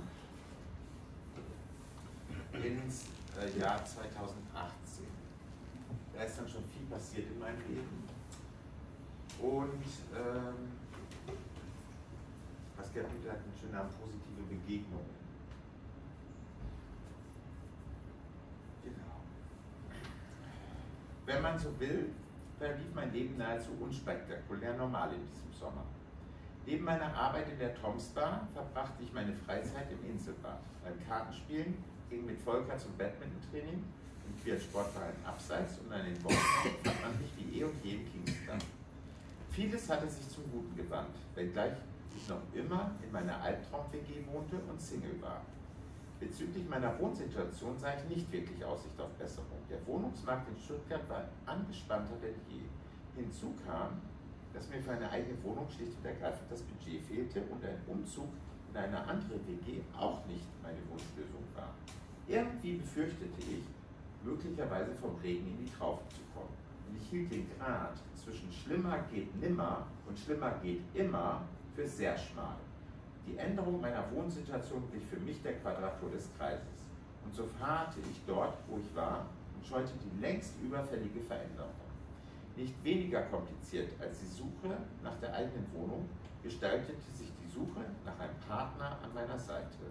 Mit meinen mittlerweile 38 Jahren hatte ich wahrlich genügend Flirts, unverbindliche Abenteuer, Beziehungsversuche oder wie man es sonst nennen möchte, hinter mich gebracht. Im Grunde war ich seit 38 Jahren Single mit kurzfristigen Beziehungsversuchsunterbrechungen, die allesamt gescheitert waren und wenige Wochen bis Monate nicht überlebten. Auf die Frage, was ich denn suche, konnte ich immer nur antworten, den netten, normalen, bodenständigen Typen von nebenan, dem Vertrauen, Respekt und Monogamie diesem Punkt war ich nicht bereit, Kompromisse einzugehen. Ich wollte die sexuelle Monopolstellung vergeben und erwartete das auch umgekehrt. Die Realität ist, dass damit gefühlt schon 95% der potenziellen Kandidaten ausscheiden, die alle ihr Glück in einer offenen Beziehung zu finden hoffen. Für mich, und da spreche ich nur für mich, ist das Konzept der sogenannten emotionalen Treue nicht überzeugend und ich halte eine offene Beziehung auch nicht für eine liberale schwule Errungenschaft. Trotzdem muss das jeder für sich selbst entscheiden. Wahrscheinlich wird mein ansonsten durch und durch liberaler Geist in diesem Punkt einfach von einem konservativen Herzen ausgehebelt. All das hatte nur leider schon damals zur Folge, dass ich mit meinem Wunsch nach einer guten Mischung aus Hirn, Herz und Sexappeal in Kombination mit Treue ziemlich allein auf weiter Flur stand. Aber wie sagt meine, Oma, meine so kluge Oma immer, Thorsten, du musst lernen, dass du den Weg des Lebens auch ein Stück weit alleine gehen kannst und dabei glücklich bist. Die wichtigste Liebe im Leben eines Menschen ist die Liebe zu sich selbst. Denn es gibt nur einen Menschen auf der Welt, mit dem du 24 Stunden am Tag leben musst. Und das bist du. Drum lebe so, dass du dich jederzeit im Spiegel ertragen kannst. Wie so oft komme ich nicht umhin zu sagen, recht hat sie, wie immer. Und genauso wenig kam ich damals umhin, mir einzugestehen, dass meine beiden medikamentös gut eingestellten Grunderkrankungen an meinem Selbstwert gekratzt hatten. Häufig ging mir immer wieder die gleiche Frage durch den. Wer möchte schon eine Beziehung mit einem HIV-Positiven, der zugleich noch eine bipolare Störung hat? Es ist die Art von Gedanken, die einem in Momenten des Alleinseins durch den Kopf gehen und die einem auch keine Freundin dieser Welt aus diesem nehmen kann. Es ist der Kampf mit sich selbst und dem eigenen Selbstwertgefühl. Man kann im Alltag noch so gut mit seinen Grunderkrankungen zurechtkommen. In dem Moment, wenn es um die Suche nach des, Suche des Partners fürs Leben geht, ist dann doch alles ganz anders und gestaltet sich schwieriger, als man es selbst für möglich gehalten hatte. Grundsätzlich war ich mit mir im Reinen und ich hatte auch Frieden mit meinen Grunderkrankungen geschlossen. Sie gehörten zu mir wie meine Augenfarbe, im Übrigen blau. Längst hatte ich aufgehört, eine Beziehung zu suchen und war dazu übergegangen, es dem Leben zu überlassen, dass ich irgendwann auf den richtigen treffen würde. Eines Tages in diesem Sommer betrat ein Mann die Bar und sein Lächeln verzauberte mich für den Augenblick. Direkt warf ich meinen Grundsatz, keine Dates mit Gästen über Bord und aus einem Flirt an der Bar wurde ein ernstzunehmendes Dating in meiner Freizeit. Wir verbrachten viel Zeit miteinander doch ich machte einen Fehler, der mir so nie wieder passieren wird. Nach ungefähr vier Wochen hielt ich es für angebracht, mich, äh, mich ihm gegenüber zu outen. Ich legte die Karten auf den Tisch und teilte ihm die harten Fakten meiner Krankengeschichte mit. Schonungslos ehrlich sprach ich über meine HIV-Diagnose und meine bipolare Störung. Ich berichtete ihm von meinem Weg der erfolgreichen Therapien in den vergangenen fast fünf Jahren seit den Diagnosen. Und doch sprach ich gegen eine Wand und argumentierte gegen seine irrationale Angst vor HIV. Seine Unaufgeklärtheit machte mich zwar nicht sprachlos, aber doch perplex. Wie konnte man als schwuler Mann im Jahr 2018 nur so wenig über HIV wissen? Beim weiteren Treffen sprach er davon, dass sein Bruder ihn angerufen hat. Angerufen und gefragt hätte, wer denn dieser Typ auf dem Facebook-Bild sei. Der würde krank aussehen. Dieser Zaunpfahl winkte nicht von weitem, sondern war in diesem Moment einmal direkt durch meinen Kopf gestoßen worden. Ernsthaft, krank. Aus meiner Perspektive sah ich so vital und fit aus wie seit meiner Diagnose nicht mehr. Der hätte nicht mal sehen sollen, als 16 Helferzellen 5 Millionen Viren in Schach hielten. Oder sprang mir meine bipolare Störung aus den Augen. Ich wusste nicht, was sein Bruder meinte. Ich wusste nur, dass dieses Dating enden musste, bevor weiteres hätte entstehen können. Miteinander geschlafen hatten wir nicht, denn vor dem Akt der Akte stand für mich dieses Gespräch. Ich war völlig vor den Kopf gestoßen und in meinem Selbstwert tief verletzt. Schon allein die Tatsache, dass ich mindestens 10 bis 20 Menschen nach dem Gespräch befragte, wie vital und fit ich auf dem besagten Foto aussehe oder ob sie finden, dass ich krank wirken würde, zeigt, wie sehr mich diese Aussage mitgenommen hatte. Meine Lebensrettung war in dieser Situation Laura, die mir direkt von den positiven Begegnungen berichtete. Hinter dieser Wortkombination verbirgt sich der größte HIV- und AIDS-betroffenen Kongress Europas, welcher alle zwei Jahre in, einem, in einer anderen deutschen Stadt stattfindet und in diesem Jahr sein 20-jähriges Jubiläum in Stuttgart feiern sollte. Sie erzählte mir von der magischen Wirkung dieser Begegnung, dieser Energie, welche 400 Menschen ausstrahlen, die aufeinandertreffen und vollkommen normal miteinander agieren, obwohl alle HIV-positiv Schlussendlich sagte sie zu mir, man kann diese Tage nicht mit Worten beschreiben, man muss sie erleben. Wenn mich etwas auszeichnete, dann war es mein unglaublicher Pragmatismus. Stets hatte ich die Worte, es ist wie es ist, und noch viel mehr die Worte meiner Oma, man muss aus jedem Tag das Beste machen im Kopf. Ja, ich war ein lebensbejahender Mensch. Von heute rück betrachtet kann ich nur sagen, manchmal wundert es mich selbst, woher ich immer wieder all die Kraft genommen habe, was mich immer wieder aufs Neue die Energie aufbringen ließ, jedem Schicksalsschlag anzulächeln und weiterzumachen. Wenn es überhaupt eine Antwort auf diese Frage gibt, dann ist es in drei Worten benannt. Meine soziale Hängematte. Diese war geknüpft aus meiner Familie, meinen Freunden und guten Bekannten. Diese Menschen gaben mir täglich aufs neue Kraft, jeder auf seine eigene Art, die eine mehr, der andere weniger. Manch einer verabschiedete sich aus, dem, aus meinem Leben. Dafür kamen neue hinzu. Wie es nun mal so ist, auch hier gilt, Leben bedeutet Veränderung, Stillstand ist Rückschritt. Schon sehr früh in meinem Leben hatte ich mir in Bezug auf zwischenmenschliche Beziehungen den Grundsatz zu eigen gemacht, dass Menschen sind, wie sie sind. Und wenn es irgendwann nicht mehr passt mit einem gemeinsamen Weg, dann soll jeder ohne Zorn und Missgunst seines Weges gehen. Ich vertrate die Ansicht, dass es besser ist, sich die guten Momente, welche sich ins Herz eingraviert haben, zu bewahren und die Person gehen zu lassen. Wichtig ist, dass man jedem das Recht lässt, seine eigene Vorstellung vom Leben zu leben. Schließlich erwartet man nichts anderes von seinem Gegenüber für sich selbst. Nun gut, auch wenn ich mich wirklich nie über eine zu geringe Anzahl an sozialen Kontakten beschweren konnte, tröstet einen selbst die engmaschigste soziale Hängematte nicht darüber hinweg, dass es eben nicht den einen gibt, der auf einen wartet, wenn man nach Hause kommt. Ob dies nun Glück oder Pech ist, liegt im Auge des Betrachters und kommt auf den Blickwinkel an. Im Grunde hatten die von mir auserwählten Männer Pech, dass sie sich mich entgehen ließen. Oder aber ich hatte Glück, dass aus uns doch nichts wurde. Man mag es sehen und drehen, wie man will. Am Ende blieben meine Prinzipien und Wünsche an eine Beziehung übrig. Auch wenn Leben heißt, dass man Kompromisse eingehen muss, in puncto Treue war ich definitiv genauso wenig bereit dazu wie in puncto Ehrlichkeit. Nennen Sie es altmodisch, aber hier bin ich es sehr gerne. Ich bin mal wieder ganz nah bei meiner Oma, die immer sagt, lieber glücklich allein als unglücklich zu zweit dass mein erstes richtiges Dating nach all den Jahren, welche von Tod, Krankheit und Gesundwerden bestimmt waren, in einem solchen menschlichen Supergau endete, war ein ordentlicher Schuss vor dem Buch. Diesmal war es aber nicht mein Pragmatismus, der mich vor dem Kentern rettete, sondern der Masterplan mit den positiven Begegnungen. Diese kam genau im richtigen Augenblick nach Stuttgart und somit auch in mein Leben. Laura selbst war Schirmfrau des Kongresses und richtete Lauras Café, den Meeting Point für kleine und große Begegnungen der 400 Teilnehmer aus. Für diese vier Tage wurde ich neben meiner Tätigkeit in der Toms Bar zum ehrenamtlichen Teammitglied von Lauras Café und wann immer ich Zeit fand, nahm ich an den unterschiedlichsten Workshops teil. Eins steht fest, zu viel war mir eindeutig nicht versprochen worden. Diese Energie, das Wir-Gefühl, einfach das Erleben der Normalität von HIV spendete so unglaublich viel Kraft.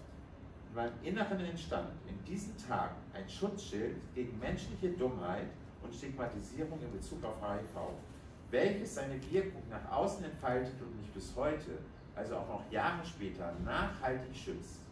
Wenn man immer davon spricht, dass man in sich selbst ruhen soll, so kann ich nur sagen, dass ich seit diesen positiven Begegnungen mit mir, mir und meiner HIV-Infektion mehr als im Reinen bin und mich genau das für den Alltag gestärkt hat.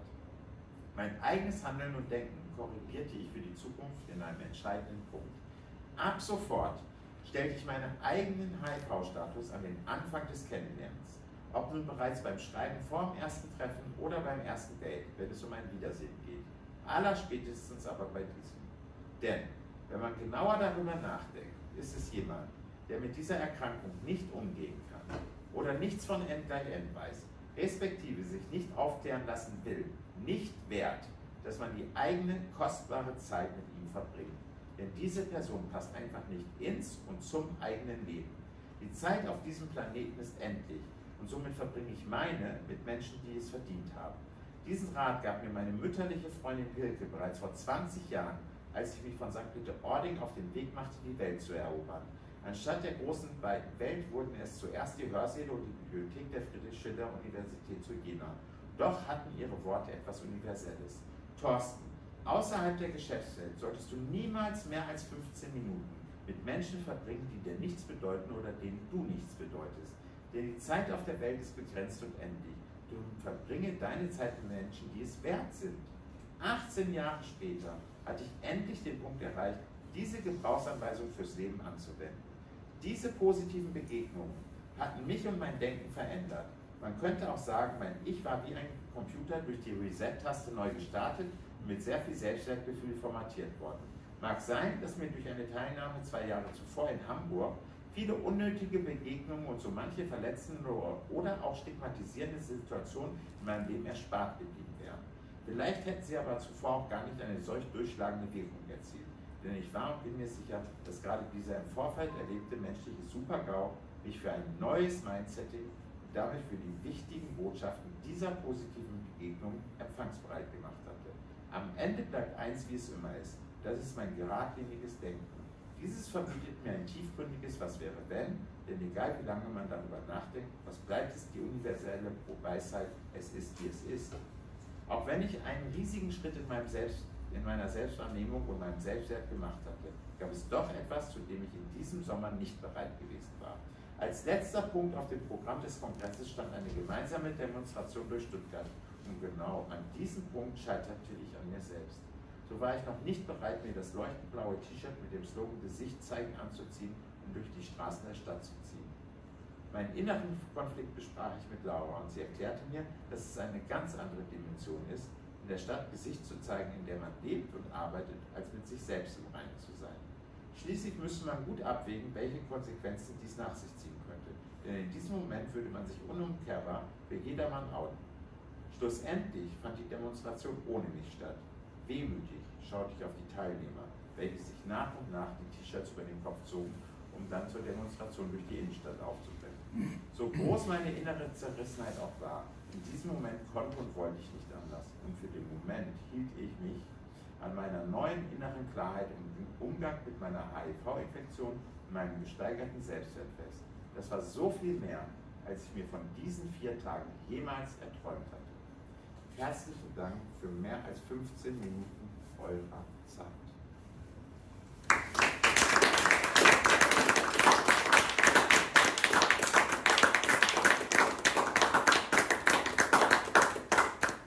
Ja, ganz herzlichen Dank, äh, Thorsten, für deinen Besuch hier im SUB, äh, für deine interessante Lebensschilderung, für deine Offenheit und dein Plädoyer für einen selbstbewussten Umgang mit sich selbst, mit seiner Geschichte, äh, mit einem selbstbewussten Umgang mit Krankheiten und auch mit der Einsicht, wie wichtig die Selbstachtung ist. Ja, gerade im letzten Kapitel auch nochmal beschrieben, eben Abstand von selbstverletzenden Situationen zu nehmen. Ich glaube, das ist für jeden Menschen wichtig.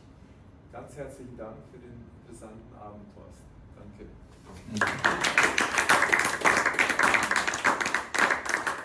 Danke auch ans Publikum für euer Interesse, für Ihr Interesse. Und ja. Ja, ich habe mich ja sehr auf München gefreut. Ich wurde nicht enttäuscht, das ist ein sehr schöner Abend. Hat das Publikum noch Fragen? Weil ich bin eigentlich auch gewohnt, dass das Publikum vielleicht noch irgendwie eine Frage da ist oder so. Die darf jetzt gerne gestellt werden. traut sich niemand. Die erste ist immer die schwerste Frage. Ich wollte nur zumindest noch die Möglichkeit geben, äh, falls noch eine Frage ist. Anscheinend nicht. Dankeschön. Ansonsten danke ich, dass ich hier sein Dankeschön. Wir wünschen dir auch, auch im Namen Sub, alles erdenklich Gute, auch für deinen weiteren Weg, privat, beruflich, gesundheitlich und es sieht alles gut aus. Ich glaube, du bist heute nicht genauso viel Power unterwegs wie damals. Also das, das, das, das, kann ich, das kann ich vielleicht noch sagen, das war eine ganz interessante Sache. Also ich äh, bin ja mit Ines und Clarissa auch weiterhin noch befreundet, also die beiden Mädels, äh, wo das in der WG in Hamburg so explodierte und die Polizei riefen und so.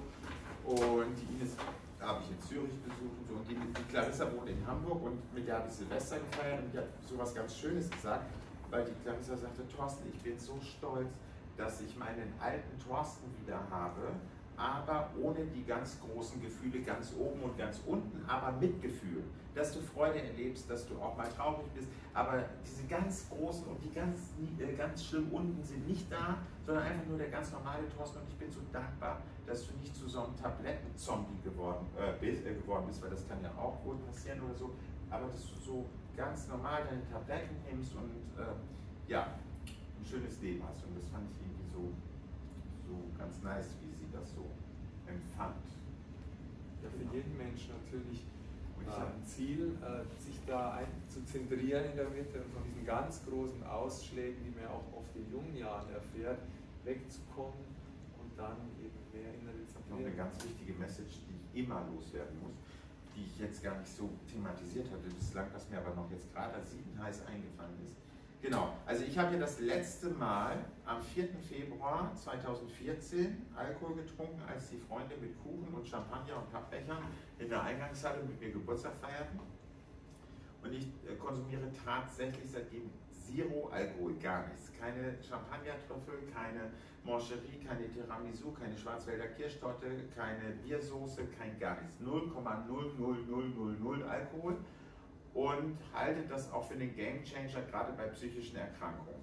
Weil Alkohol, zum Beispiel bei einer bipolaren Störung, ist ganz brisant gefährlich, ganz schlimm, weil Alkohol hat drei große Neins bei einer bipolaren Störung. Einmal äh, drückt es einen runter in die Depression, es kann einen aber genauso gut auch hoch in die Manie schießen. Und was am allerschlimmsten ist, dass Alkohol in den Wirkungsmechanismus der stimmungsstabilisierenden Medikamente eingreift, die nicht so wirken, wie sie sollen. Deswegen sollte man tunlichst gar keinen Alkohol konsumieren. Ich habe einen Patientenstammtisch gegründet aus meiner Zeit damals in der Psychiatrie. Wir treffen uns einmal im Monat. Das Schöne ist, jemand von außen würde nie denken, äh, dass wir uns alle in der Psychiatrie kennengelernt haben, weil wir ein sehr munterer, fröhlicher, äh, eine muntere, fröhliche Runde sind. Aber da gibt es schon auch die, den einen oder die andere, die immer mal wieder Alkohol trinken. Ach, das eine Glas Wein und dies und jenes. Aber das sind auch all die Kandidaten, die ständig wieder in der Psychiatrie sind. Also das geht, also Alkohol und psychische Medikamente verträgt sich gar nicht. Und dann möchte ich zumindest mal auch noch loswerden, Alkohol und HIV-Medikamente oder Alkohol und PrEP ist halt auch schwierig. Also ich bin 43, ich habe Frau Dr. Herking damals bei der ersten HIV-Untersuchung, die sprach von, wenn Sie Medikamente, können Sie 100 werden. Ich habe gesagt, 88 Grundjahre würden mir reichen, aber die hätte ich auch gerne. Ähm, und da muss man ja auch überlegen, solche Medikamente können in der Langzeitwirkung auf Leber und Niere gehen. Und worauf geht Alkohol? Ja, ist auch schwierig, aber ich habe keinen Erziehungsauftrag. Äh, jeder Mensch muss das selbst abwägen. Denn der eine Mensch möchte 60 Jahre im Bergheim feiern gehen, das ist sein Lebenstraum, und der nächste möchte mit 80 noch einen Halbmarathon laufen und isst jeden Tag eine halbe Scheibe Knäckebrot. Also da hat ja jeder eine andere Vorstellung von seinem Leben. Aber schwierig ist das schon mit solchen Medikamenten, äh, Alkohol zu konsumieren. Du bekommst jetzt von uns alkoholfrei. Gute Überleitung, gell? Ganz herzlich Dankeschön, Dankeschön. Sehr schön. Danke nochmal. Ich danke. Und ich wünsche Ihnen, euch noch einen schönen Abend, schönes Wochenende. Danke fürs Interesse an der Veranstaltung. Wir freuen uns auch wieder auch bei kommenden Veranstaltungen der Prävention auf euer Kommen, auf euer Interesse. Und ja. Und wer ein Buch erwerben möchte, kommt ich habe einen Füller dabei zum Signieren. Ist aber kein Zwang, aber vielleicht interessiert den einen oder anderen, was zwischen den Kapiteln noch passiert. Interessant. Dankeschön. Schönen Abend. Ich danke.